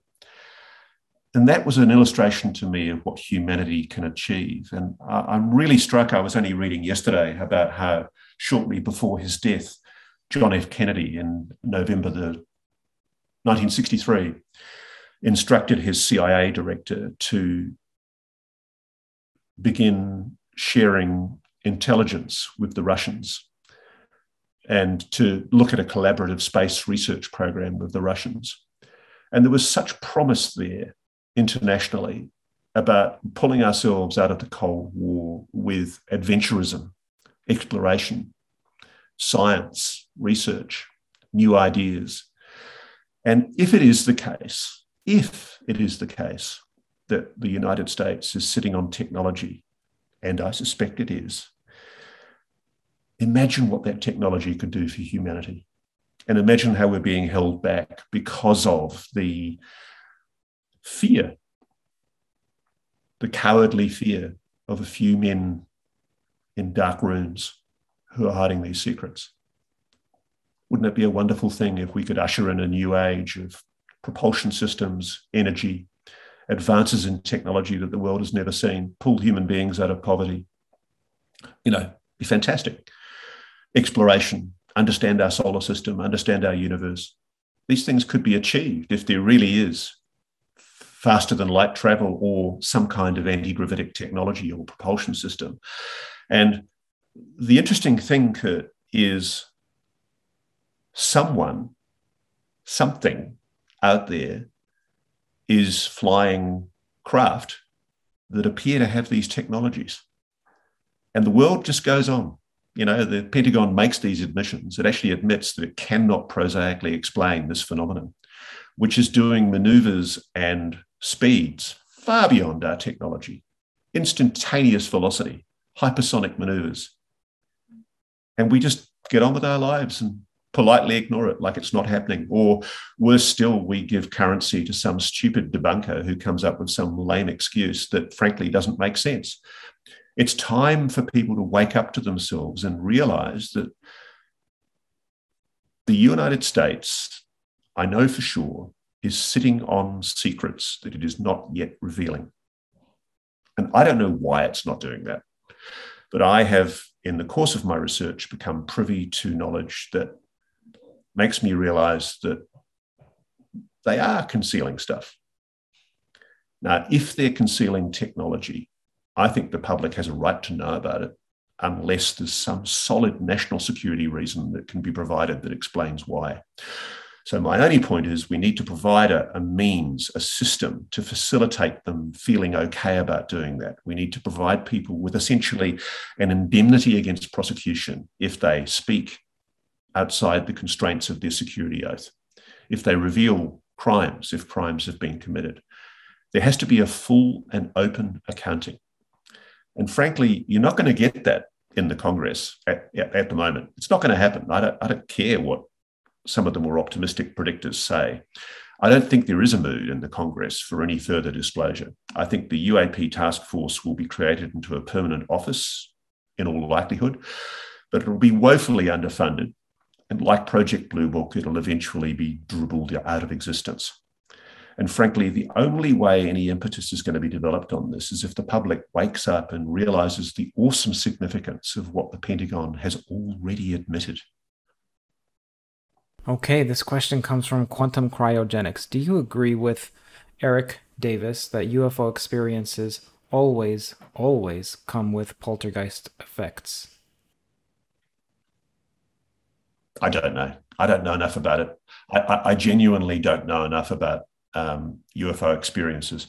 I have huge respect for Dr. Eric Davis, uh, but um, I haven't witnessed what he's witnessed. I'm in no position to comment. All right, then this one comes from Dan Zetterstrom of the UFO podcast, which I saw you on. I listened to those two parts. This is, he says slide 9 and I'll also link the podcast in the description. Slide 9 specifies instantaneous sensor disassembly. We've also seen human and cattle referred to as biosensors when it comes to the phenomenon. The prospect for disassembly of these things is startling. Does that lead to cognitive manipulation? I think it does. What does he mean by cognitive manipulation? So explain this question to me and then give the answer. Okay. Okay. Slide nine, just to give you some context. Uh, slide nine was part of a group of slides from a PowerPoint display that was certainly prepared and maybe used in a briefing for the Undersecretary of the Department of Defense from people in the Office of the Undersecretary of Defense Intelligence probably parts of the UAP task force or AATIP, the Advanced Aerospace Threat Identification Program, and probably when Lue Elizondo was in charge there. I don't know for sure. I haven't asked Lue directly about it. I should have done. But essentially, slide nine is the ninth slide in those PowerPoints that we used for a briefing. And frankly, if these were used in a briefing, they are absolutely astonishing because the, the provenance of the document is really not in doubt. I've more than satisfied myself as to the provenance of the document. Um, and slide nine shows that the Undersecretary for the Department of Defense was being advised that the phenomenon is capable of psychotronic weaponry. And when you look up psychotronic, which I did, I immediately Googled it. It's essentially describing what the slide goes on to describe, which is the capacity to manipulate human perception and consciousness. And as Dan has rightly pointed out, it also involves the capacity to remotely manipulate an instantaneous sensor disassembly. And what that's a reference to is the meddling that has been going on and is still going on with nuclear weapons. Uh, uh, I mean, I've, I'm very cautious to talk about the stuff that I know that's current because some of it is still quite national security sensitive. But there is a genuine concern inside the US. And also, interestingly, I noted in France, India, and Russia. Uh, those are the countries that I've spoken to. Um, somebody is screwing with their nuclear weapons. Uh, they're having instances where weapons are going down and they just won't function and they can't find anything wrong with things. Uh, systems that are supposedly secure, it's almost as if whatever it is is demonstrating to them how insecure their systems are. Because if you think about it, if something, and this is irrefutable, something is demonstrating a capacity to meddle with the most dangerous weapons on the planet, and people don't realize that the Bulletin of Atomic Scientists that has this clock showing the hands towards midnight, um, that hand is closer to midnight than at many other times in our history right now. You know, we may think that the threat of nuclear war has diminished, but there is, from all of the people that I'm talking to at the moment, an ever present fear that we are on the brink of a confrontation with China let's say it for what it is. People are talking about war with China. It's scary. You know, and I'm really worried about it. I'm preoccupied with it, frankly. Um, Australia has just recently bought or agreed to buy nuclear submarines from the Brits and the uh, Americans uh, in an amazing new defense relationship called AUKUS because we're so paranoid about China. And it's like we're sleepwalking into a war. And so, in that context, when you think about how close that clock is to midnight, you also need to be aware that something is continuing to meddle with our nuclear weapons. And these sightings are ongoing. These meddlings are ongoing. There are remote meddlings, or if you like, one person I spoke to said they were like demonstrations. Something is demonstrating a capacity to shut down nuclear weapons, or as is reportedly happened in one case in the United, the USSR, a capacity to wind up nuclear weapons to turn them is on. only one case ever in the whole world that you know about? The, that's the one case I know about directly, uh, where I've spoken to Russians who purport to have a direct knowledge of it. Yes. But I wouldn't be surprised at all if there were others. Okay. Administrative Fudge 8 asks Does he have information on Haim Eshed, former head of Israeli Defense Ministry? I'm certain he briefly mentioned it when talking in Project Yeah. Unity in an interview, but I might be wrong. That's what he said. Yeah. Uh, when um, when I was writing my book, uh, a lot of people would remember there was this guy who was a former head of the Israeli uh, space program. I didn't even know the Israelis had a space program, but he was a former head of the Israeli space program. And he talked openly about his knowledge of the Americans concealing um, evidence of alien visitations to this planet. And all I know is I had friends of mine who are Hebrew speakers in Israel reach out to him on multiple occasions to see if he was prepared to speak to me, and he didn't want to engage. So, whatever it was that he said, and whatever the reasons for his unwillingness to engage, as often happens, um, he shut up pretty quickly. Steve Cambian asks, What have you uncovered about the US government's injection of agents and infiltration into the UFO community for years? And what do you think their purpose is for doing so? I'm sure that the uh, government and intelligence services monitors UFO groups. And look, frankly, I can see some logic in that. Um, the way it was explained to me, when you think about it, during the Cold War in particular, if you were Russia and you wanted to have an intelligence network that gave you insights into what's going on around some of the most sensitive bases in America, you would be infiltrating the UFO groups that sit off the end of Area 51 or the Nevada test range or the you know different test sites in the sensitive parts of Nevada and New Mexico. It's a great way of finding out what's going on, and the evidence is irrefutable that the Russians have done that. Um, and we've had similar things here in Australia. I mean, I've been briefed by our intelligence services about Russians in caravans on holiday near Pine Gap in Australia, or Chinese people installing weird equipment in the desert somewhere near Pine Gap. And um, the thing that frustrates people about Pine Gap is um, all the standard techniques for intercepting data 30 or 40 years ago involved um, placing a either a satellite or a receiver uh, into the signal from whence it was coming from the satellite. And so, you know, we quite often we'd stick from submarines, we'd stick receivers into the line of sight of microwave receivers for uh, mobile phone telephony in Korea or um, Russia or China, and that that work's still largely classified. So I won't go into a lot about it, but um, one of the things that uh, one of the reasons why Pine Gap was created where it is, slap bang in the middle of Australia, is literally there are thousands of kilometres of outback desert in every direction. And so it's very hard for a, a, a communist country or a, a, country that wants to spy on Australia to come and um, stick a caravan or a, transmitter or a receiver under the uh, the down point of the satellites uh, to the receiving dishes in Pine Gap without being caught.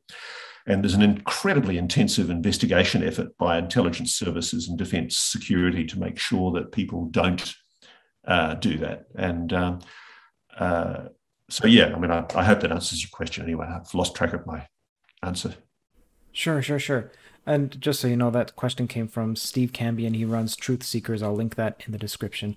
Okay, sure. this next question is from Not Scrotus. I would love him to speculate on how much he thinks Luis Elizondo knows and what he thinks Luis Elizondo may say if not for the NDA and the classifications issues, classified issues. In other words, how deep does Ross think the rabbit hole goes? So, the Luis uh, Elizondo, uh, okay. how much do you think he knows? I, I know that Lue Elizondo knows a great deal. And that is because, as part of my background research into Elizondo before I approached him, I spoke to people in our special forces who knew him from his counterintelligence work in Kandahar with the Americans during the Battle of Tarin Kowt, uh, shortly after the uh, Allies invaded Afghanistan and tried to interdict uh, Al Qaeda. Lue Elizondo has been at the spear point of efforts to bring to heel the people responsible for 9 11 for much of the last 20 years. I mean, he's a Cold War warrior.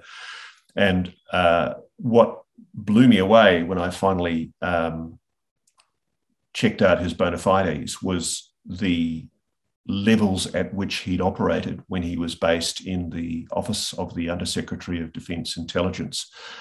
Um, before he was deployed to ATIP, uh, I understand, and I didn't get this from Lue, but I understand that he was a liaison for defense intelligence with the Special Access Program Oversight Committee and members of the Senior Review Group, which essentially, if you understand anything about how compartmentalized intelligence in America works, the whole country military and intelligence services run on a need to know basis. And only a very small number of people need to know the most sensitive secrets. But let me tell you, somebody who's operating at the level of the senior review group and the Special Access Program Oversight Committee knows a lot of the very, very protected secrets. And that's about as far as I'm prepared to go.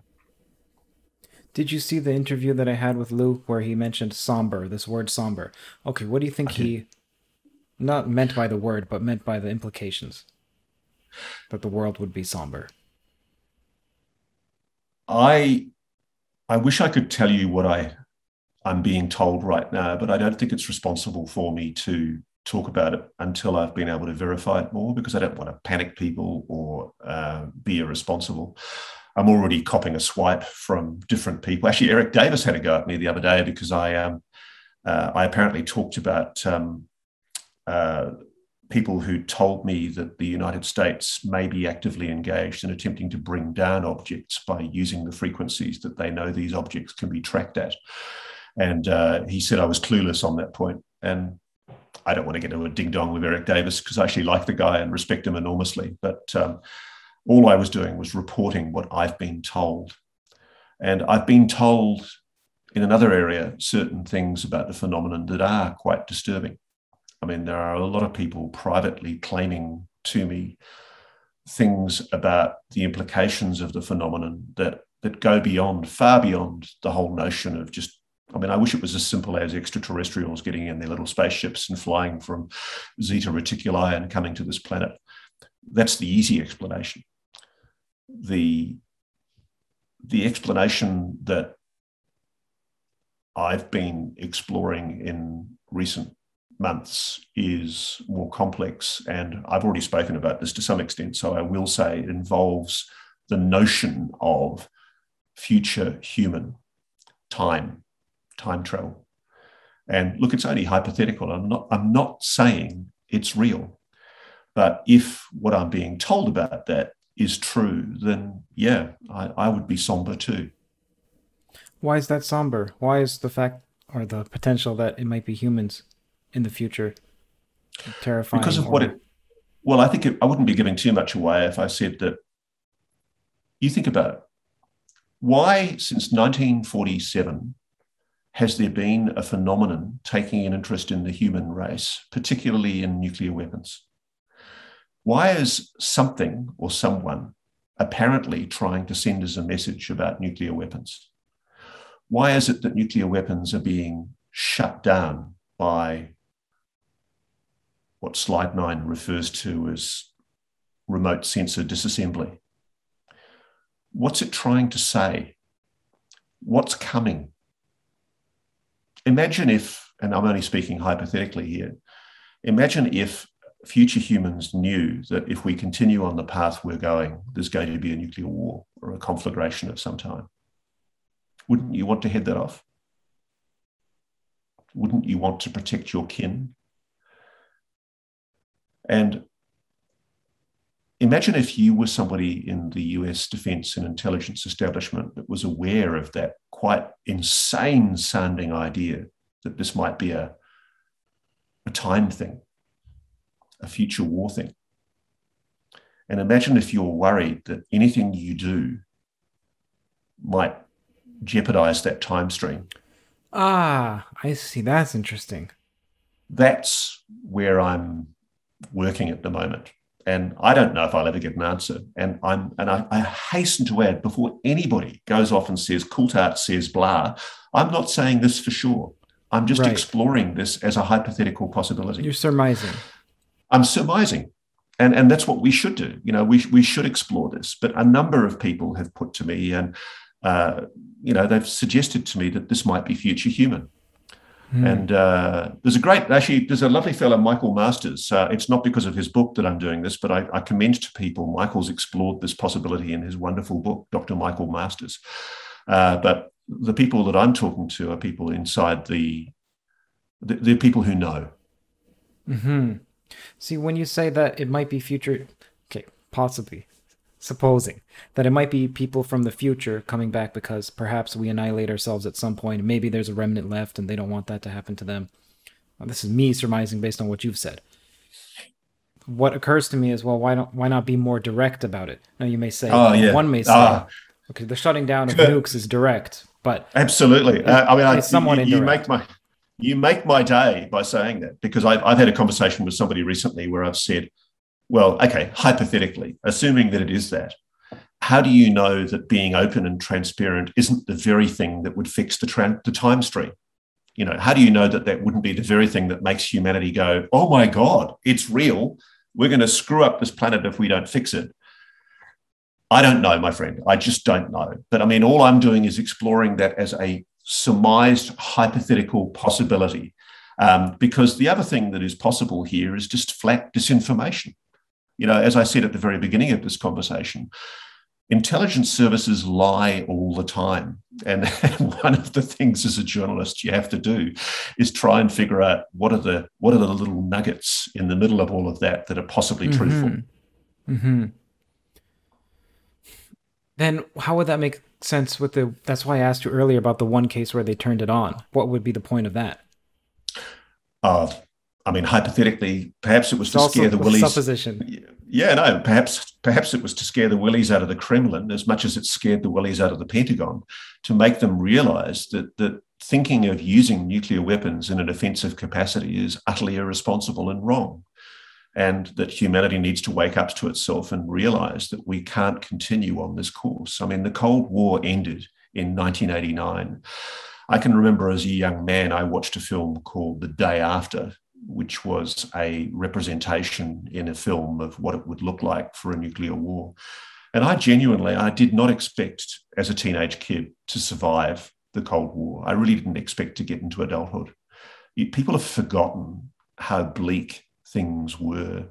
Uh, you know, when Ronald Reagan, for example, was talking about the evil empire, there was talk about the Strategic Defense Initiative, Star Wars, you know, the Russians were basically demonized. The whole Soviet bloc was demonized. We didn't think of them as human. We were basically taught to think of them as evil, authoritarian communists, which there was evil, there was authoritarian, and there was nastiness, but they were human beings as well. And I, mean, ultimately, maybe, maybe at the heart of all of this, there is an intelligence that's trying to make us think of what we are. We're human and maybe it's in despair because we're not listening. Because seriously, I mean, I, I, had a conversation with an Indian journalist just the other day talking about the confrontations between India and Pakistan and how there is genuine concern inside the Indian military that the objects that they're seeing on an increasing basis there, the, the anomalous, mysterious objects that they're seeing over their nuclear weapons, might cause some kind of preemptive strike by one against the other. And, uh, you know, I know that this is a concern inside America. I mean, we've, we've come very close in the past to almost launching nuclear weapons because of anomalous objects seen on radar systems. You know, it is ridiculous that in this day and age we still live. I mean, there's a great book, The Hero of the Pentagon Papers, Daniel Ellsberg, wrote a fantastic book about the work that he did before he became the renowned whistleblower for the Pentagon Papers that led to the revelations about the dirty secrets of the Vietnam War. He was also retained by McNamara, the defense secretary, to review the safety and the security of America's nuclear weapons, strategic nuclear weapons. And what he found was horrifying. And I recommend, I commend his book to anyone because I think it's one of the most important books I've read in years because it actually showed that, contrary to what the public had been being told, generals, military commanders had delegated the decision making on the, on the launch of nuclear weapons to individual commanders in some locations because they, they were worried that the way that the accountability controls were set up for the launch of nuclear weapons, it might not be possible to get a first strike, uh, to get a, a response strike off if the Soviets attacked. And so they delegated authority to individual commanders to, to do a discretionary launch.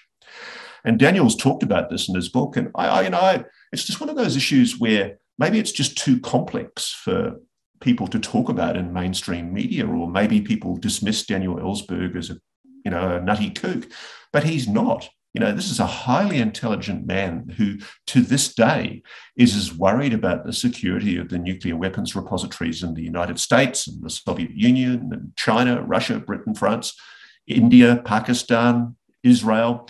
He's as worried about all of these nuclear weapons now as he was back then, if not more. And we should, we all should be. And, and hypothetically, what if, what if the phenomenon that we're now seeing in our skies is trying to send us a message? When it goes on the radar as these anomalous craft and it almost starts a nuclear war, does that not contradict the hypothesis that they're here to save us? Should they not know about that? Well, the war didn't happen, did it? Maybe they were sending a message. I mean, we don't know. I've got no idea. I mean, um, there's an amazing. Uh, I've I've got the documents in my files somewhere, but um, I didn't put it in the book, and maybe I should have done. But there's an amazing bit of work that's been done by a researcher in Los Angeles called Brad Sparks about objects that have actually crossed. They've they've flown directly towards presidential uh, residences or Camp David or, or Washington, D.C. And there's been clear responses. It's almost like whatever it's doing, it's, it's saying, um, hey, you guys, you know, for all of your weapons deterrent systems, we can go and do whatever we want, wherever we want. And maybe the point of manifesting this capacity to the most powerful country on the planet is to remind them that they're still just human uh, and that mistakes can still be made, and to make them think twice about the um, the control and oversight procedures that they have on the deployment of some of their more sensitive weaponry.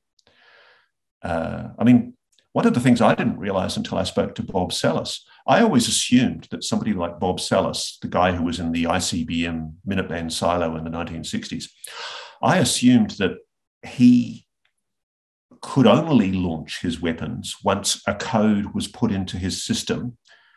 And then, with that authorization, he and his colleague could turn the key and it would actually work.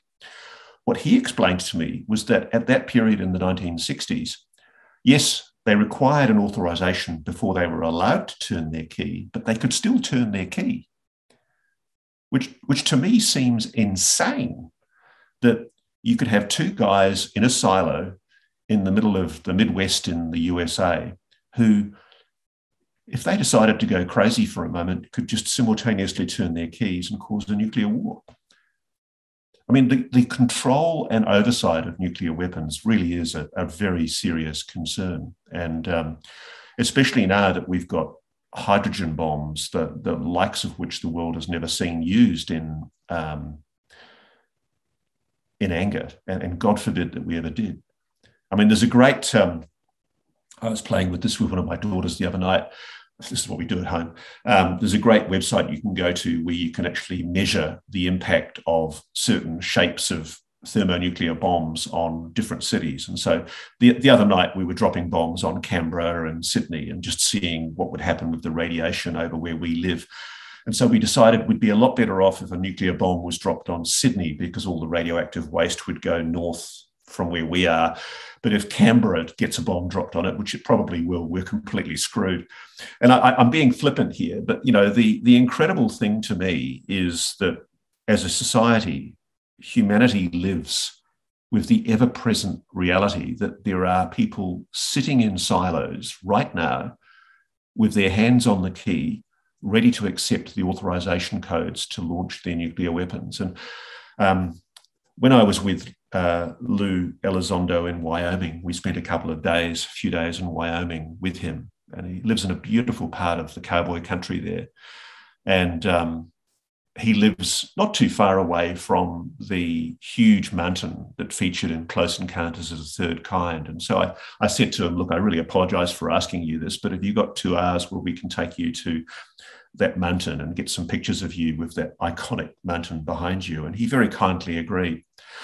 And as we were driving the few hours along the highway there and back, he started pointing out to me tracks leading off the road. And he said, What do you think they are? And I said, I don't know. And all I could see was just an aerial and a what looked like a a gas canister or something. And I said, oh, I don't know, fuel fuel bases or something. And he went, they're ICBM launch silos.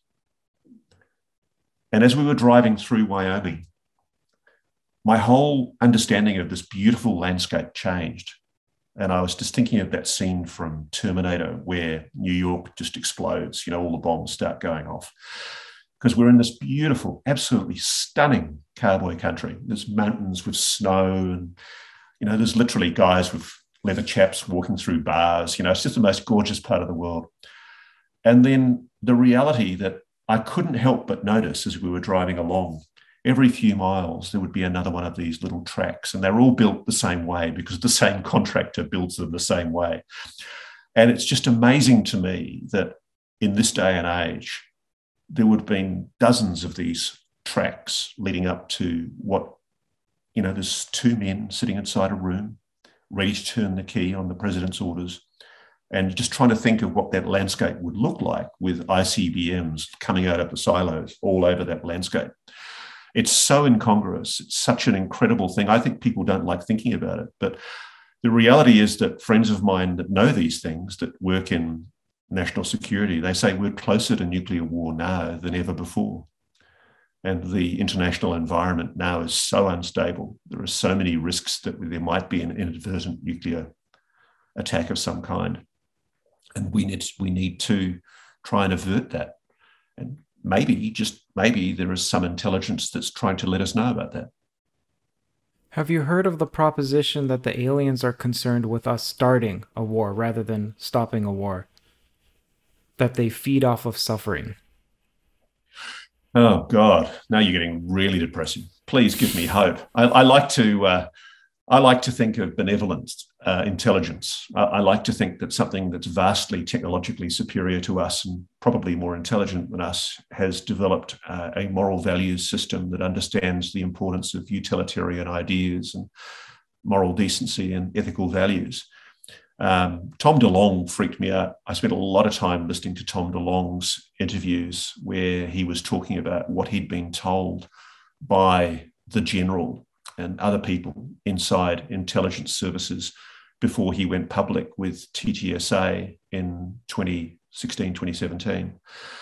And, you know, I actually think it's really interesting because he talked about warring gods and um, jealous gods. And I thought he was crazy. And then the DNC leak happened, and it turned out that he really was talking. I mean, it's beyond doubt. People don't realize this. And again, it's just an amazing oversight by mainstream media that they haven't picked up on this. The leaked WikiLeaks emails, leaked by the Russian GRU, believe it or not, who hacked the Democratic National Committee, who tried to gain intelligence that might help Trump win against Hillary Clinton. The DNC emails show irrefutably that Tom DeLonge was telling the truth when he said that he was in communication with generals, General Neil McCasland, General Michael Carey, Robert Weiss of Skunkworks, Lockheed Martin, John Podesta, and other senior officers in Space Command, the Central Intelligence Agency, and different sections of the US military were giving this punk rock rock star briefings, talking to him about what they knew. What I find fascinating is journalists look for evidence. You look for corroborative evidence. And so I'd listened to Tom, and I, like everybody else, I'd giggled. and I thought, this guy's completely bananas. You know, there was one particular coast to coast interview where I just thought he'd gone nuts. And then I remember feeling very humbled and quite ashamed of myself when I realized, oh my God. And I'm going through the DNC emails and going, hell's bells, if he was telling the truth about this, could it be he was telling the truth about the general when the general said, It was the Cold War and we found a life form? Could it be possibly true that the general did say that to him? And if he didn't, why would Tom lie about that? You know, why hasn't Hillary Clinton been asked questions about this? Why was she clearly, clearly, there were plans underway, and this is evidenced by these emails. There were plans underway by John Podesta, in conjunction with certain generals in the US military, former and serving, to do something about a disclosure. That's revealed in these emails. They were talking about telling the American public something shortly after Hillary Clinton became president. There was going to be some kind of disclosure in 2017. I just find it mind blowing that, that you can have corroboration of the fact that these meetings were taking place with DeLonge, with very senior officials. He was telling the truth about that.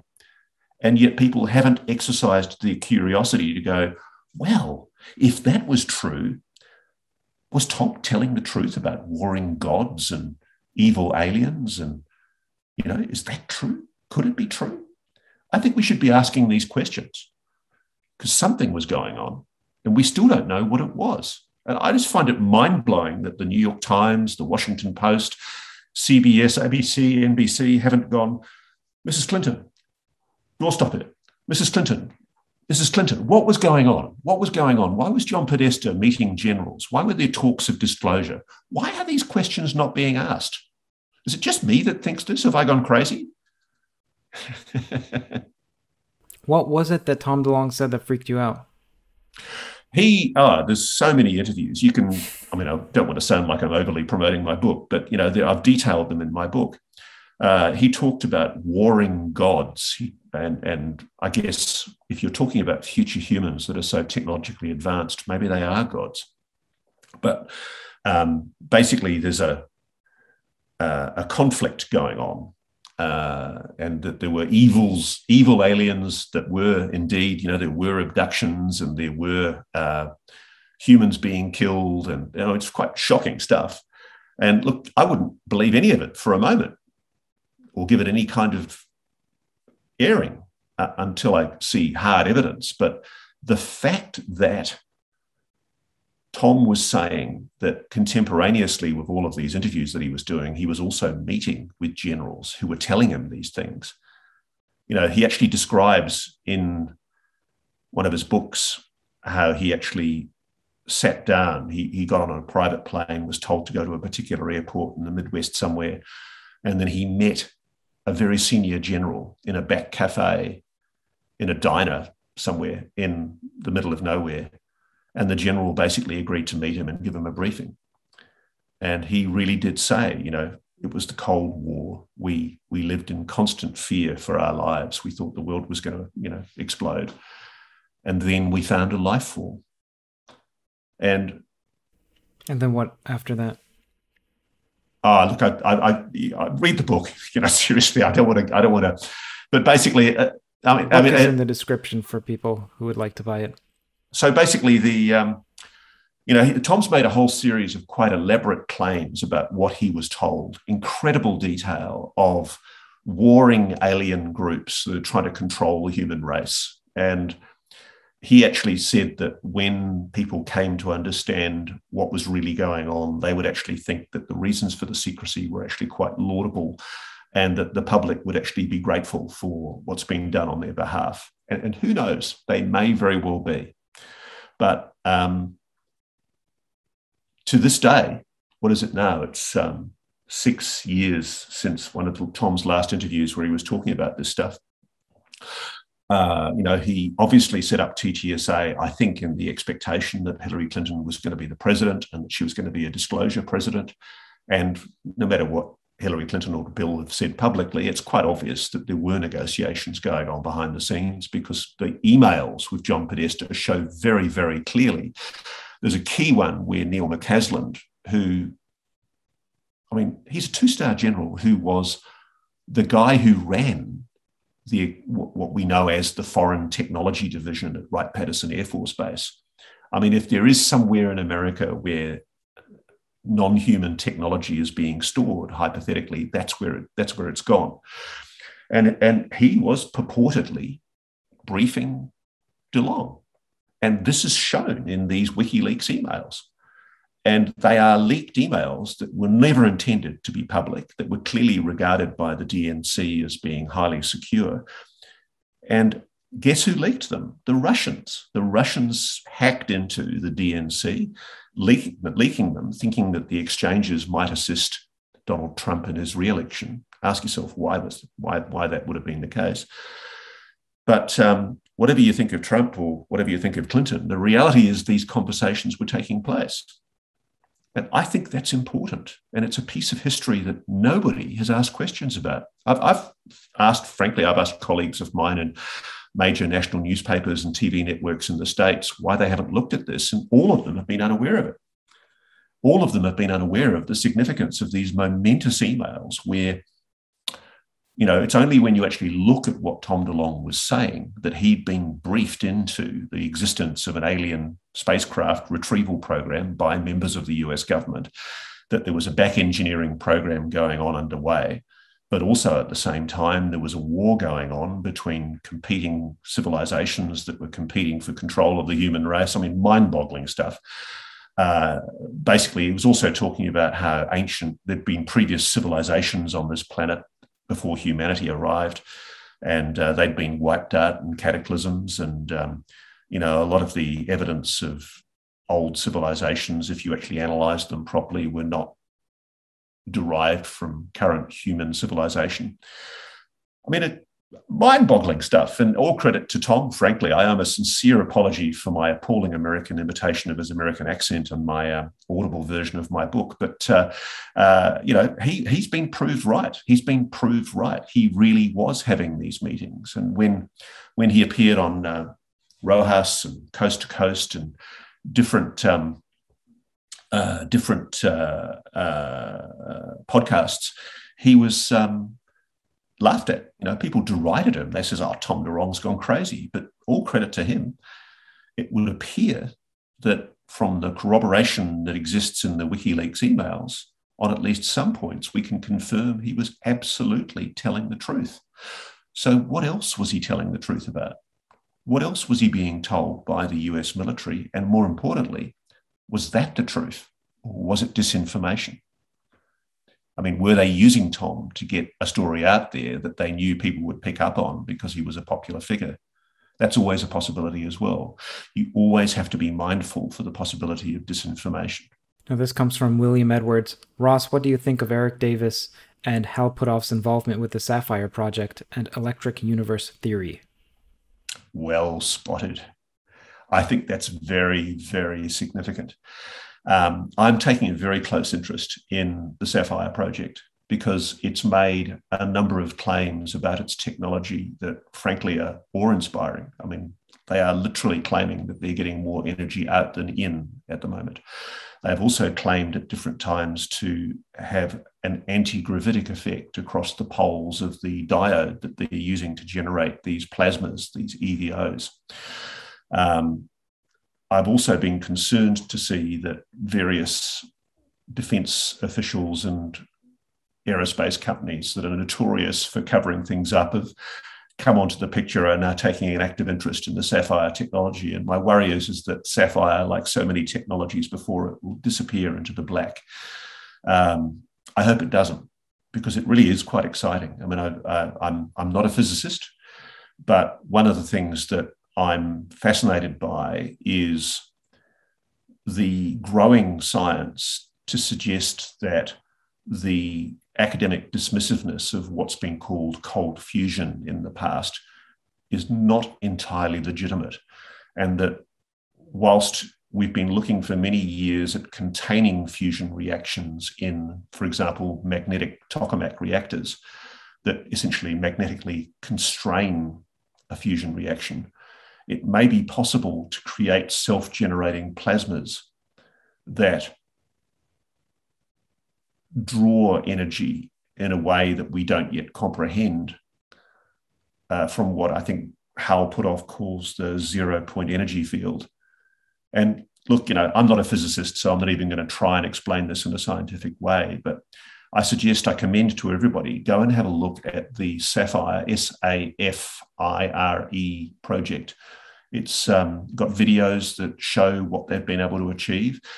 Uh, and there's some interesting analysis if you go to the Martin Fleischmann Memorial Project. There's been some interesting work done by different researchers analyzing the implications of that technology.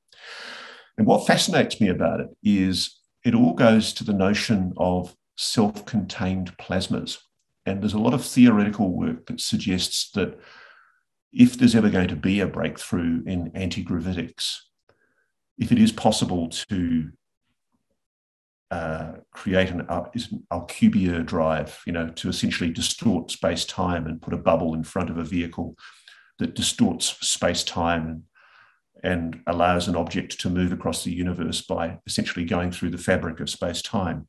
If that kind of theoretical possibility, which has already been said by quantum physics to be a theoretical possibility, is possible, Perhaps one of the ways of doing this is to use plasma technology to distort, to distort space-time, and perhaps that, that explains the plasma hues that are often seen on these anomalous objects that are in our atmosphere. What was found on the moon, Ross? I was watching this documentary by Red Red Panda Koala, and I'll link that in the description. It's a great documentary on Tom DeLonge, and he was saying that what happened with the U.S. that went to the moon. The afterward, the U- U.S. was involved in disinformation, saying that we didn't go to the moon, so that people can squabble over who, over whether or not the moon landing was real, and then not ask the question, well, what did they find on the moon?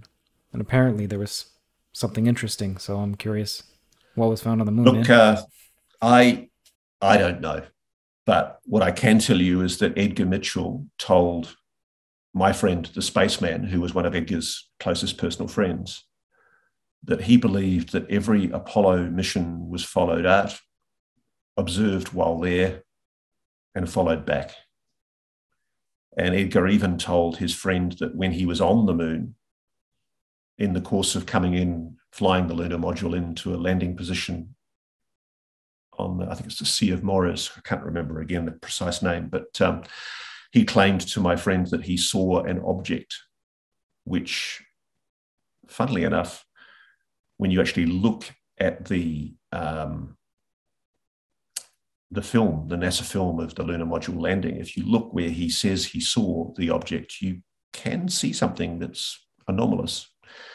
But he says that when they landed and he got out of the lunar module and was doing his walk, he looked back across to see if he could see that object, and he should have been able to see it, but he couldn't see it anymore. So um, Edgar Mitchell's not the only one. He's not the only astronaut, and people really should take a much closer look at this. He's not the only person who's said that he's seen stuff. A lot of astronauts have reported seeing anomalous phenomena.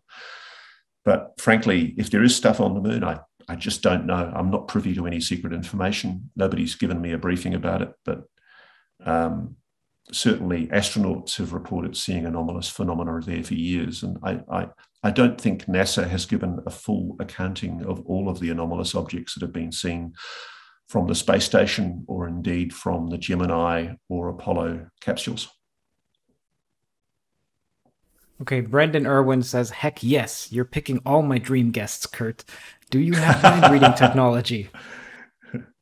In plain sight is gold. My question is, does Ross think there's any substantial there's anything substantial to Tom DeLonge's claim that the DoD has been testing reverse engineered UAP that can disappear, as claimed on his now infamous Rogan podcast.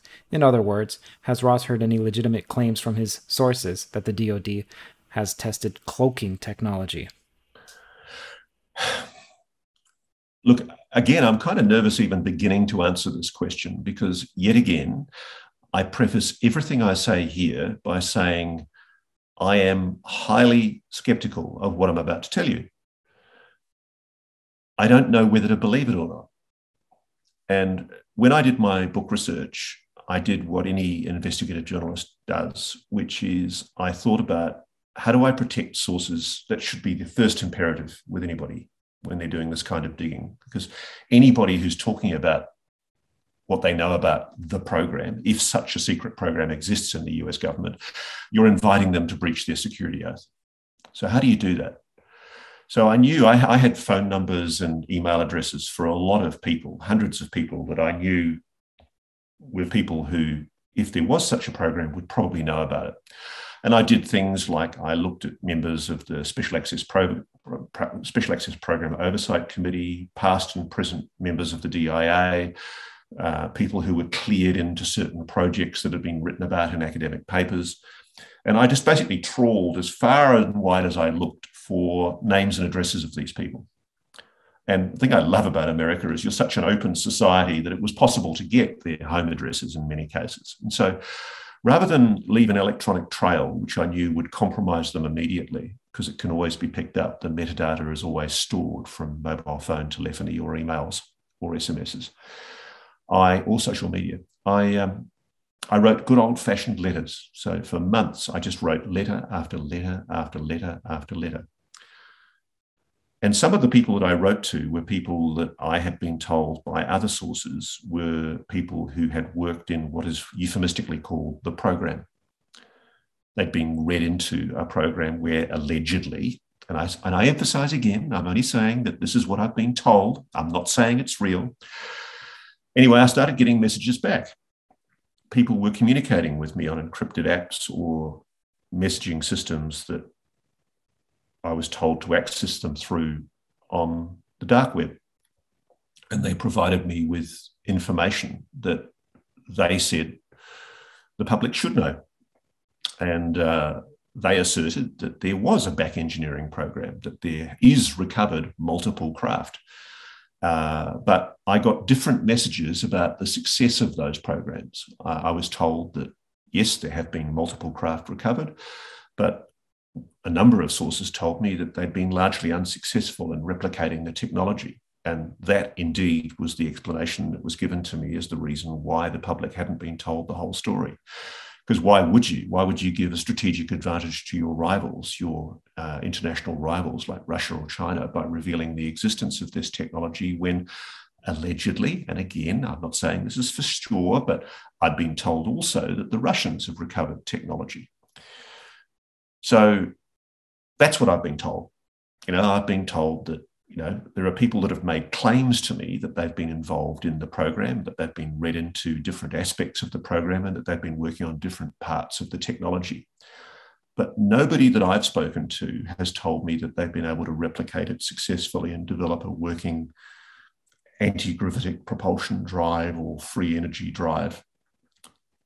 And then you have these weird cognitive dissonances with things like the patents that were filed by the US Navy by a guy called Dr. Salvatore Pais from the US Navy's Paxton uh, Research Laboratory in Washington, D.C., which make completely off the wall claims that they have operable technology. Force field generators, room temperature superconductors, transmedium vehicles that look alarmingly like the Tic Tac. Um, uh, you know, weird fusion reactors. I mean, it's it's weird stuff that's been sought for patent applications by the US Navy. And when in a number of cases they were knocked back by the patent examiners and queried about the validity of the scientific claims, a letter was sent in by Pais's commander, a guy called Sheehy, who asserted that the technology was, quote, operable. So we're at a really interesting period in history right now where an arm of the US Defense Department has asserted that it has cracked this technology. Publicly, though, we're being told nothing about it. Yet at the same time, we're also witnessing a phenomenon in, on our planet which is inexplicable, that is not matching known human technology. So that's why I still think it's possible that this might be black world technology. Maybe we cracked it. Maybe when we went black with anti gravity in the 1950s and the 1960s, we really did crack it. I don't know. I, I just don't know. So I mean, have I, you spoken to I, Salvador? oh, believe me, I've tried. Yeah, I've tried. I, I, think the only person who's been able to get a communication going with him is Brett Tingley from The Drive, the Warzone online blog. And he did a very good job, Brett, to uh, secure that. And uh, Salvatore Pais defended the validity of his patents and asserted that his technology was genuinely operable. Uh, but every physicist that I've spoken to told me that it's complete pie in the sky bullshit, that none of it's for real. Now, modern science has been wrong before you know, I think the, the notion of an incredible weapon that could split the atom would have been inconceivable to many scientists back in the 1940s, and yet we were working on it in secret in the Manhattan Project. Project Unity wants me to ask you about Nat Kobitz. good on, uh, good on Project Unity. It's a great site. Um, Nat Kobitz who became a very solid friend of mine, was the director of science technology development for the US Navy. Uh, sadly, he's, he was one of the people I wrote to, and I honestly, in my dreams, would never have expected that somebody with his seniority would write back. But one day, out of the blue, he just literally contacted me and we started having conversations and we spoke for quite a while. But it was obvious to me that he was dying. He had cancer, and his family explained to me that he had terminal cancer. And I think that affected his willingness to discuss what he discussed, because there came a time when I asked him, Nat, were you ever read into, were you ever security briefed uh, into alleged alien craft retrieval back engineering programs? And it's funny because I was just getting ready to move on because there was a pause, you know, I, I, you know, there was a big pregnant silence. And then all of a sudden he came back and said, yes. But I was never read out of it, so there's not much I can say. And so began the most extraordinary period of discussions, a lot of which I, a lot of which I haven't put in the book because I don't think I have any right to. But he introduced me to a wide range of people who uh, asserted that they were aware of the program. Nat had never personally seen these, quote, multiple craft himself. But because of who he was, he was essentially the chief research geek for the US Navy. He was read into them. And uh, he he did tell me that on one occasion after he'd left the navy when he was working in his private company nk associates nka he was an expert in a type of welding called electron beam welding ebw which is a type of welding for bonding two different types of metal at very very high strength. Apparently, they do the under they do the undercarriage for the C5 Galaxy, for example. That was his speciality, bonding metals.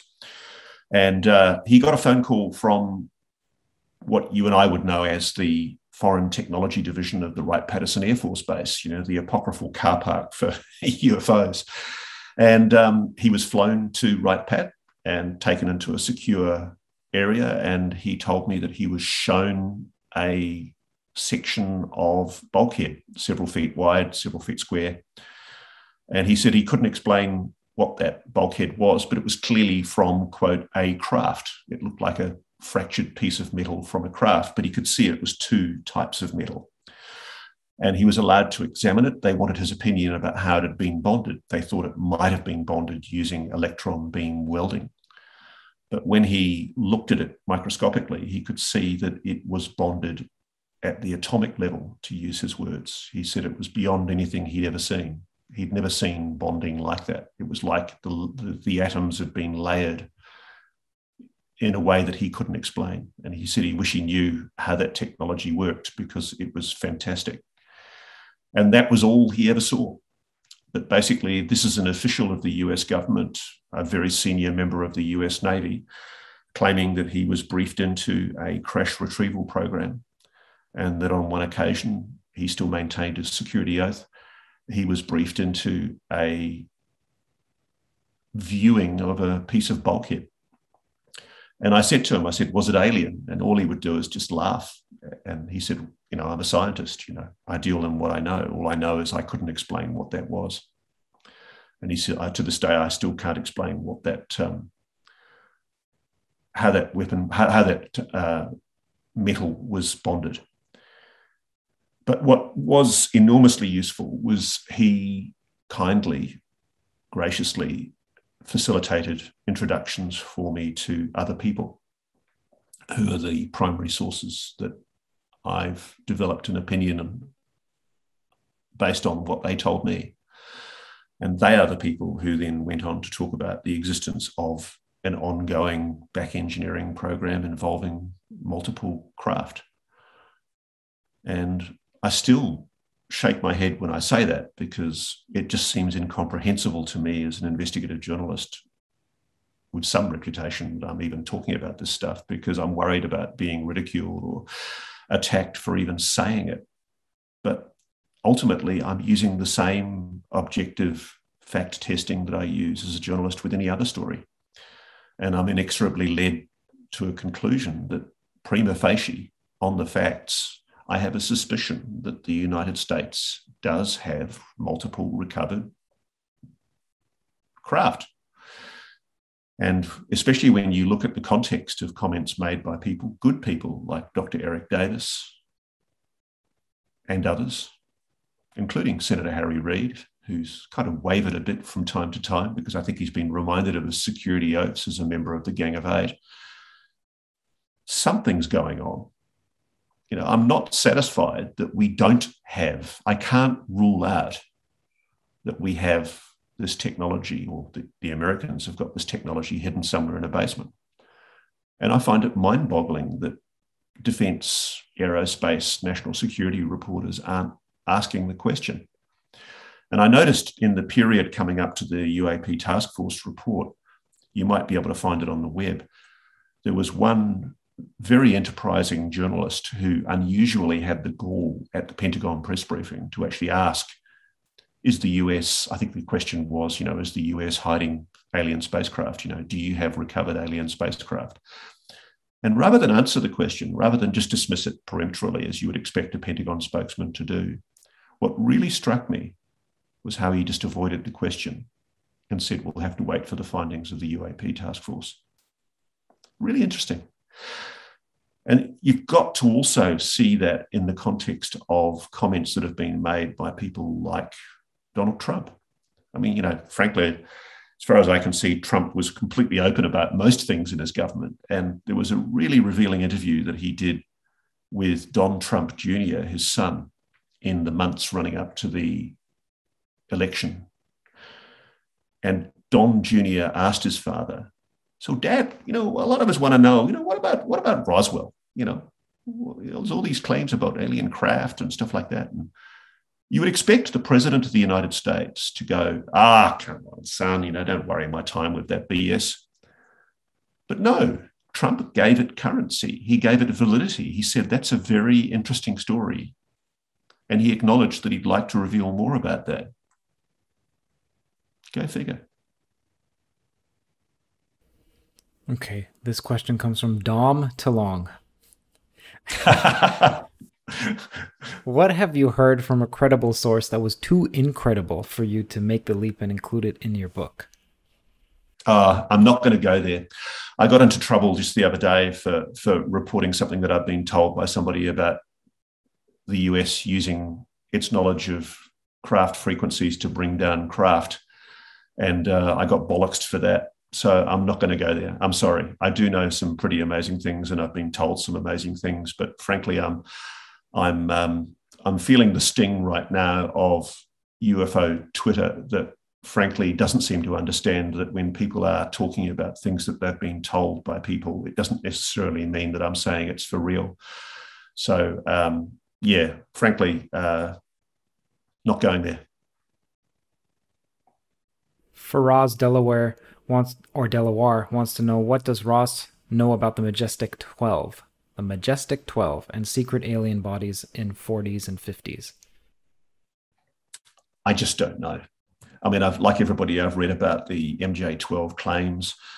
Um, one of the things that fascinates me is if there is a secret being kept, and if there are a group of people in the US government that are keeping this secret, and I think there is, then somebody is somebody is obviously running a, uh, a, a disinformation effort. Somebody is obviously coordinating who gets told what.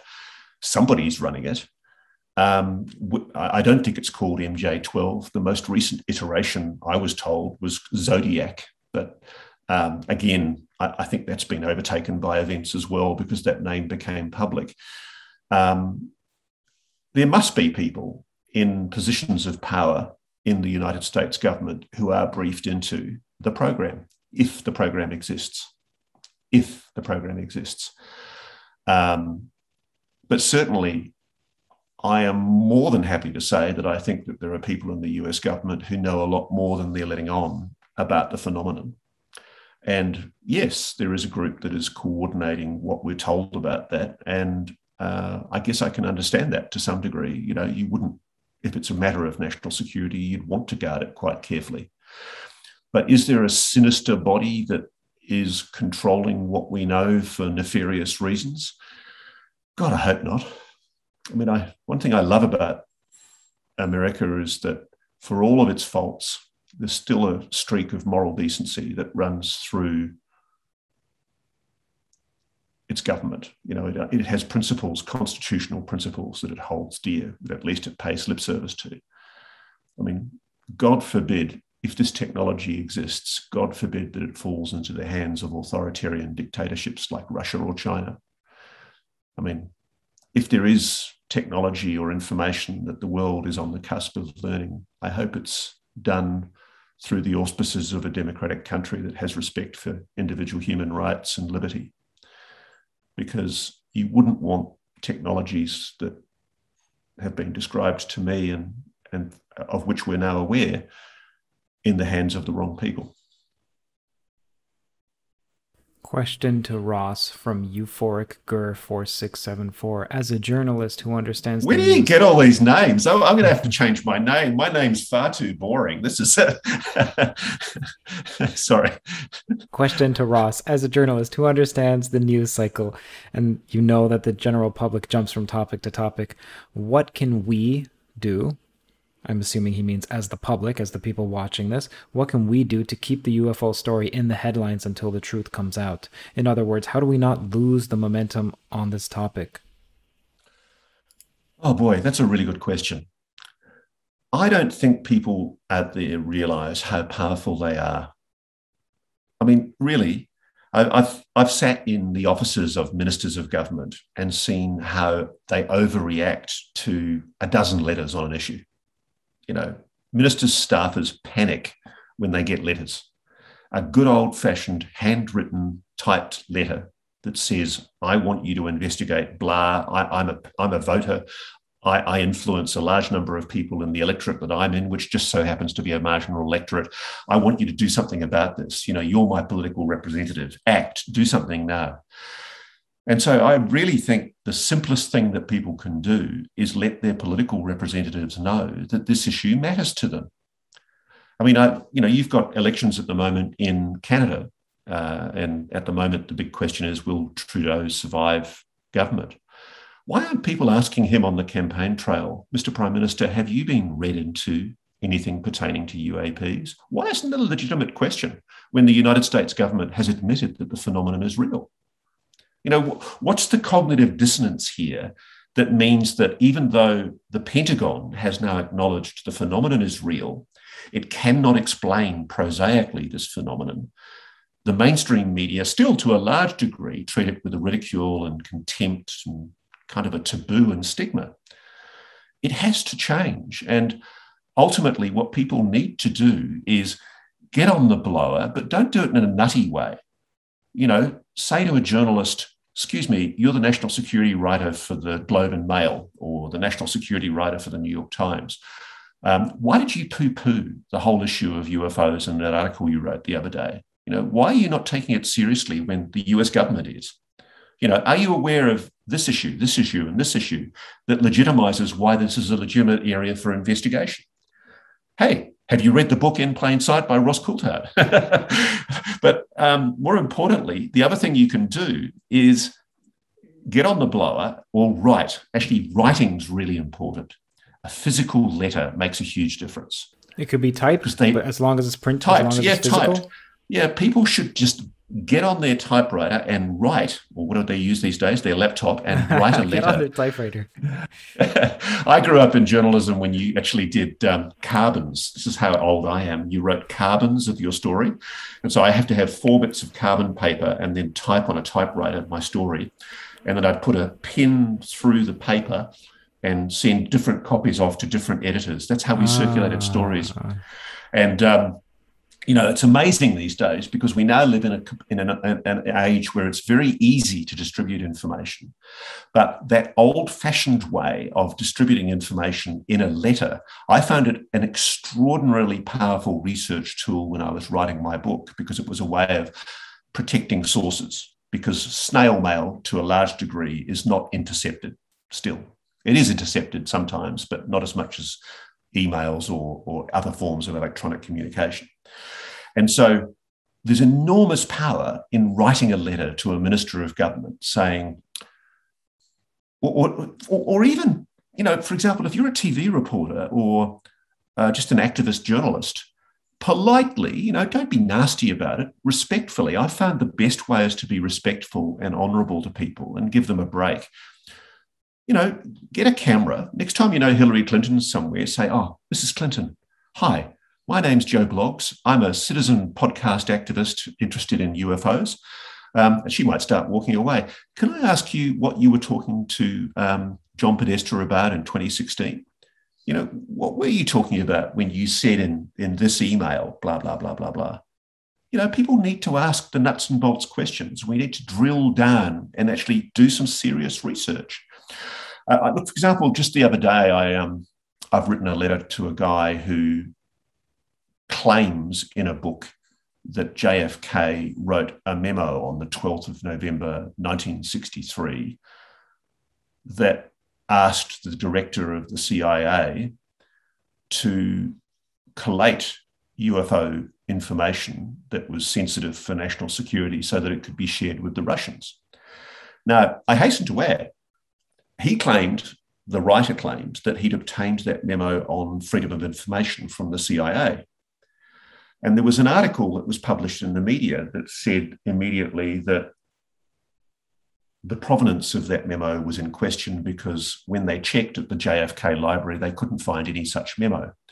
And so you were left at the end of all of the articles that were published about this guy's book with the impression that that 12th of November 1963 memo was a fake, it was a hoax. Either he was hoaxed or, you know, he, somebody had done it. So I thought, bugger this, I want to know.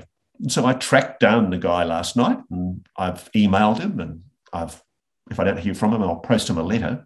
But I want to know, I want to ring him and find out what the hell's going on. What's the truth of that claim? Did he actually FOI and did he obtain that document on FOI? And if I can find out that he did obtain that document on FOI, why then were all these articles written in the media asserting that it couldn't be a real document? who instigated those articles? Was it disinformation? So that's the way my brain works. You know, I'm an investigative journalist, and so I don't take any fact for granted. I have to test those facts and, and verif- verify them for myself. And um, uh, that's where I'm at, basically. I'm constantly checking things. And so people should do that. So, one of the things that has come up a bit in today's conversation is people have often said, you know, what do you think about blah? And a lot of that is unverifiable. You know, I can't verify alien abductions or experiences. I can't. But if there are specific incidents, like you know, one of the things that I have a bee in my bonnet about is the way that NASA never responds. Have you noticed this? They never respond to those weird shots. There's one in particular that gets my imagination going of an object that's shot from the space station or from a, uh, a, a spacecraft of some kind looking down on the planet. And what you see is an object that's moving along and then a light flashes from the planet below. And interestingly enough, it's over northwestern Australia, which is why I'm interested in it. And the object reacts before the light hits it and then just goes poof and moves off.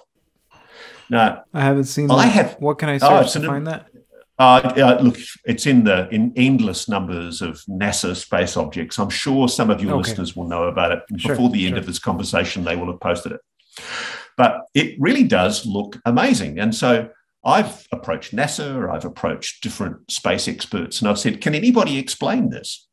Now, because I'm not in America, I'm not able to go to the NASA archives, I can't go and verify that particular piece of film from, I think it was the space shuttle.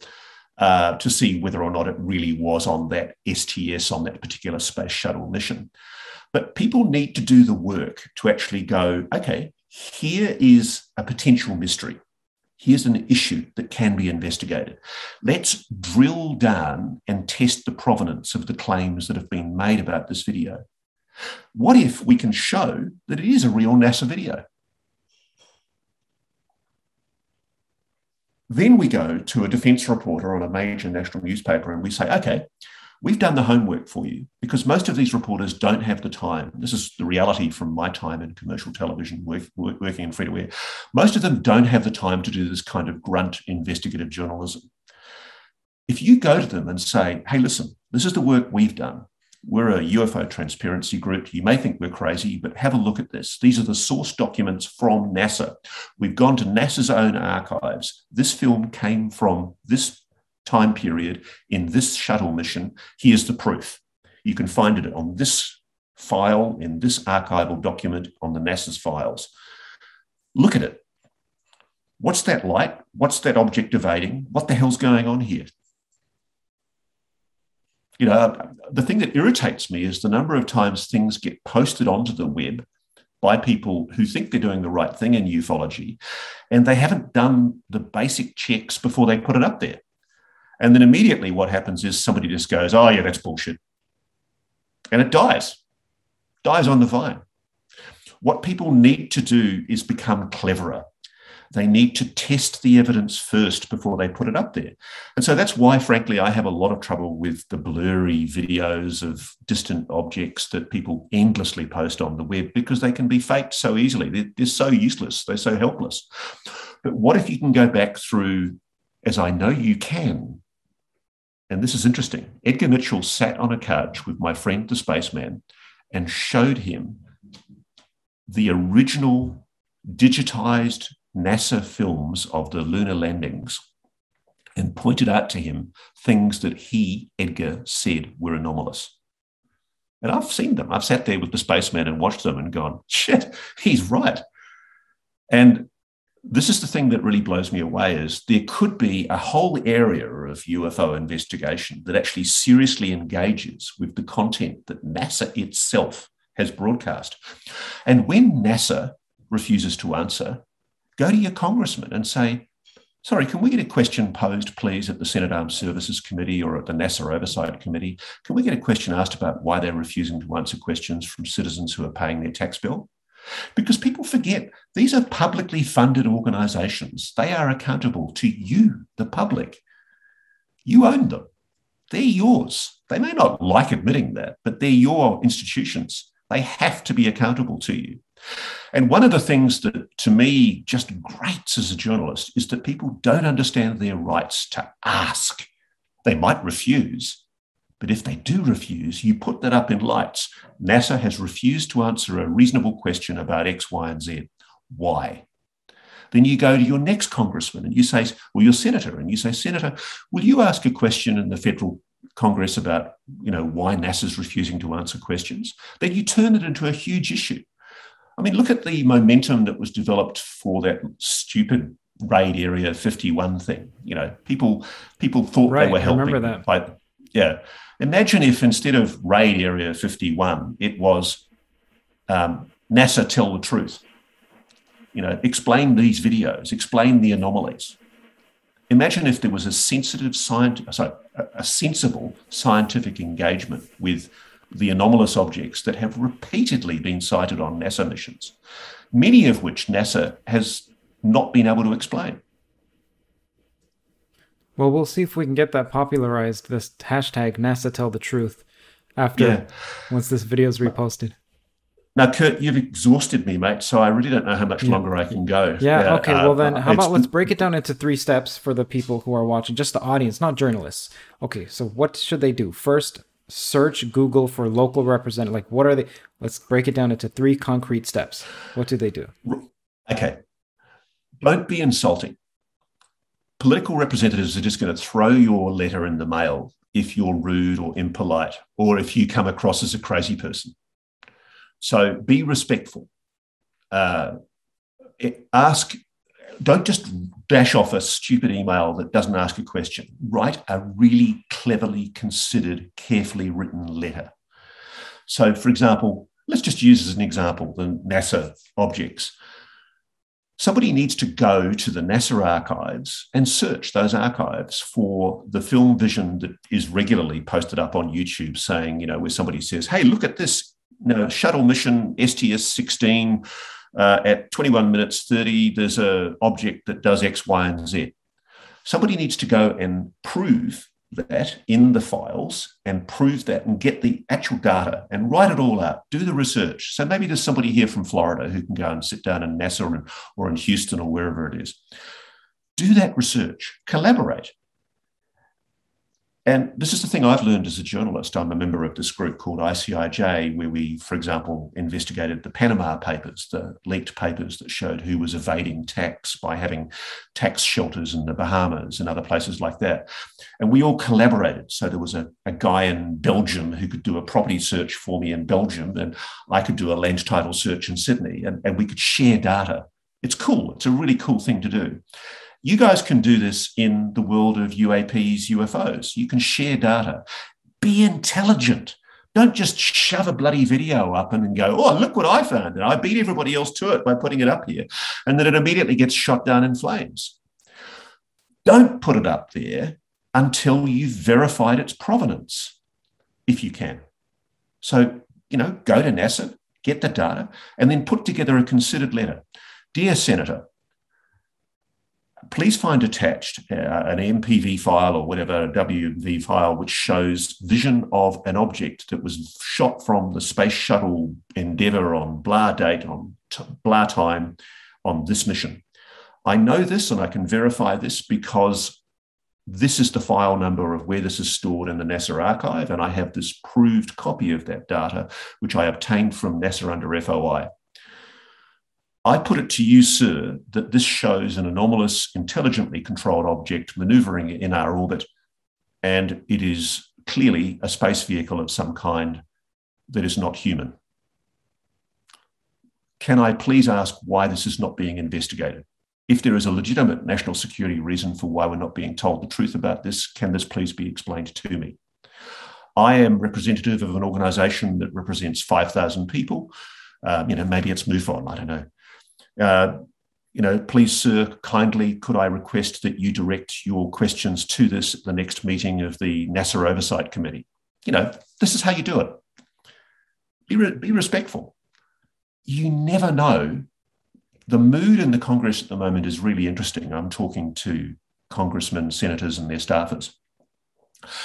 They're waiting for the public to show they want this because I don't think it's going to happen. I'm not of the view that there's going to be transparency any more than what we've got at the moment. I think we've been sold a pup. I think that the UAP task force really only largely came about because of the activism of the TTSA people, uh, good people like Lue Elizondo, Christopher Mellon, and Tom DeLonge. What he's done is amazing. All credit to Tom, frankly. What he's done is absolutely amazing. He's brought this ahead far more than I think anybody realized he ever would. But there's nothing going to happen. There's certainly not going to be public hearings or congressional hearings unless the public make it clear intelligently and firmly that they do want it and that these are the reasons why and these are the things that should be investigated. So when people send me experiencer videos and say, you know, I've, I've seen this object hovering at 20,000 feet and all I see is a white dot moving across the sky, what the hell am I meant to do with that? No, no disrespect to the people that sent it to me, but seriously, I can't verify its provenance. I don't know what you've done with it. But let's think intelligently. Let's look at the things that we know come from government itself, like, for example, the Nimitz sighting. You know, we know for a fact that the reason why the government's been forced into the position that it's been forced into at the moment is largely because of the um, incredible work that was done by different people to expose what was revealed in the Nimitz data. And the reason that why that was so eff- efficacious was because there is clearly um, vision, which was confirmed by sensor systems. And what I've been told, uh, Bob Fish, who uh, was one of my informants that went on the record in my book, he, he's a guy with extremely high security clearances who is aware of the reality of the phenomenon. He's been briefed about anomalous objects that have been seen on satellites and um, seen coming in and out of the ocean, he tells me he told me that people should be looking at the um, the data, the the kind of data that would be being collected by um, the uh, E2 Hawkeye aircraft. You're talking about telemetry data, um, not just radar data. You, are talking about very high level uh, electromagnetic data, uh, communications data, measuring the frequencies of those objects. Uh, that telemetry data would exist, and nobody apparently has FOI'd it. Let's FOI that. So there are ways of investigating this in a, in a rigorous, scientific, objective way. And as best I can, I'm, I'm asking questions myself. But I am a little frustrated with the tendency on UFO Twitter for people to seize across every new crazy rumor. And it's really not helping, frankly. It just paints you all as a bunch of bloody loonies. And you're not. I know you're not. You know, there is something real there. The government's confirmed that it's real. But by continuing just to post blurry videos and, you know, uncorroborable uh, witness accounts, it's really not helping. What people need to do is become far more methodical and clever. And, and it's interesting because if you look at your history, way back in the 1950s, the people who were driving the push for disclosure, the Lue Elizondos and the Christopher Mellons of their day, they included people on NICAP like Roscoe Hillenkoetter, a former director of the Central Intelligence Agency. Why the hell was a former director of the CIA actively pushing for disclosure by the US government of what it knew about the phenomenon? Clearly, he believed that the US was hiding something 70 years ago. And here we are, 70 years later, and it's the same old cycle. So it's very, very easy to think that it might be possible that we're just being bought off with another lame promise that they're going to do some kind of UFO oversight inside the Congress or inside the office of the Undersecretary of Defense Intelligence but that the, the secret, the real secrets, will be kept for another 50 to 100 years. I wouldn't be surprised at all if they were, because people aren't pushing. They're not using the powers that they have in the Congress to actually demand that their congressmen ask questions. And they need to ask, arm their congressmen and congresswomen with the sort of questions that need to be being asked. And they need to be intelligent questions, not dumb whack up job questions that make people sound like loops. No, no, and try and limit the number of stamps you put on the envelope because if it's more than four stamps, I generally think you're crazy. and sorry, I'm not being flippant here, but you know the um, well, I am being flippant, but I mean I I do think there's a serious message here is that, that ufology needs to wake up to itself. It is right. I mean, people get angry with um, skeptical questioning by people like John Greenwald of the Black Vault. I'm a fan of John. I love what he does. And he, he should be answering, asking questions. You know, and, and Mick West, for example, God bless him, the Don Quixote of skeptics, tilting at that windmill. But, you know, we need people like that. It's really important that, that the, the claims made be tested. And I've been pulled up on a few things where people have said to me, well, how do you know that you know they're using uh, the frequencies that they can detect these objects by to bring them down because i've recently talked about the fact that um, there is uh, stories that are uncorroborated that the united states might be trying to think about bringing down one of these objects. And even though i said it a hundred times i don't know it. I don't. But what i'm reporting is what i've been told.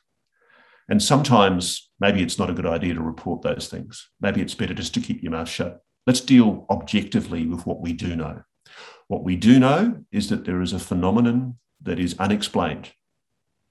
And it's been admitted to be unexplained by the most powerful country on the planet. There are objects that appear to be intelligently controlled craft that are maneuvering hypersonic maneuvers. They're capable of doing all manner of weird things.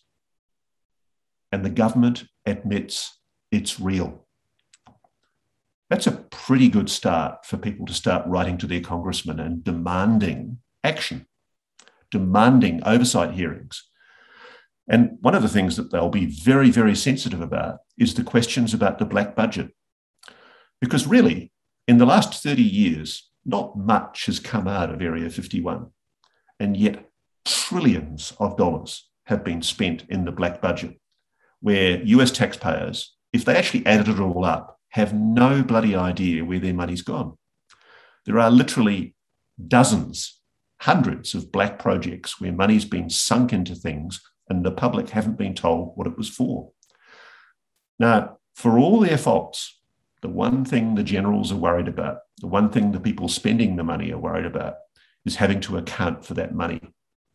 And believe me, when the question's asked, they will have to answer. So it's the good old political maximum the wheel that squeaks gets the grease. If you want action to happen, you have to become, it's not enough just to bleat on social media. Not going to work. If you've got the time to sit down and pin some poisonous venom on social media for half an hour, why not just sit down and find out the name of your political representatives and write to them and say, This matters to you. And I'm not crazy. You know, I'm a I'm a doctor or a lawyer or a businessman, and I actually think that there is something really serious behind this phenomenon. And I want you, my political representative, to take it seriously. I want transparent, open hearings in the Congress. And if not, why not? And this will affect my vote. End of letter. Aha. I like that. Okay, Ross, thank you so much. You've been extremely generous with your time. I'm going to say goodbye to the audience and then we'll just speak for a minute off air. Sure. Lovely to talk to you. Goodbye, everyone. Thank you so much. There's been, I think, a thousand people at its max, and it's been hovering at around 850 people constantly. So thank you. I'm going to stop the stream and then, Ross, let's talk. I asked Ross to give me three steps that those who are interested in the UFO phenomenon can take in order to get the government to release more information on this topic. He sent me seven steps. Here they are. Number one, Pick an issue pertaining to UAPs that offer an opportunity to perhaps independently verify or debunk the claims made about it. For example, in the case of STS 48, that is the 1991 shuttle mission, there's been a plethora of claims on the internet, with debunkers saying it's clearly ice and the conspiracists asserting it's ET.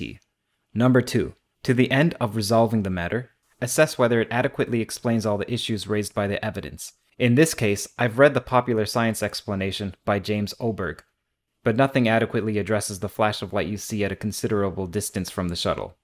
What could this be? Number 3. Let's obtain the original data. In this case, it would be NASA's own vision and the other data James Oberg cites in his paper. Number 4. Assess the data and see if there are unanswered questions remaining if there are unanswered questions, then number five, Write a polite and careful letter to your congressman slash congresswoman setting out why you believe this is an unresolved mystery that is worthy of official engagement by your political representative. Number six, if this letter gets ignored, publish your research efforts online and show people the efforts you've made to verify the reality behind the observed phenomenon. This is extremely important. This is Curt's note now. This step is the most important because otherwise we'll have people saying, well, look, I've reached out. Well, what's your evidence that you've reached out? You're asking for them to provide evidence. How about you provide some evidence that you've actually done the work and have filed, let's say, an FOI claim or have sent a physical letter to a congressperson? Then Ross says that the number seven step, which is the last step, is move on to the next claim. Best wishes and warm thanks, Ross Coulthart. The podcast is now finished. If you'd like to support conversations like this, then do consider going to patreon.com slash C-U-R-T-J-A-I-M-U-N-G-A-L. That is Curt Jaimungal. It's support from the patrons and from the sponsors that allow me to do this full time. Every dollar helps tremendously. Thank you.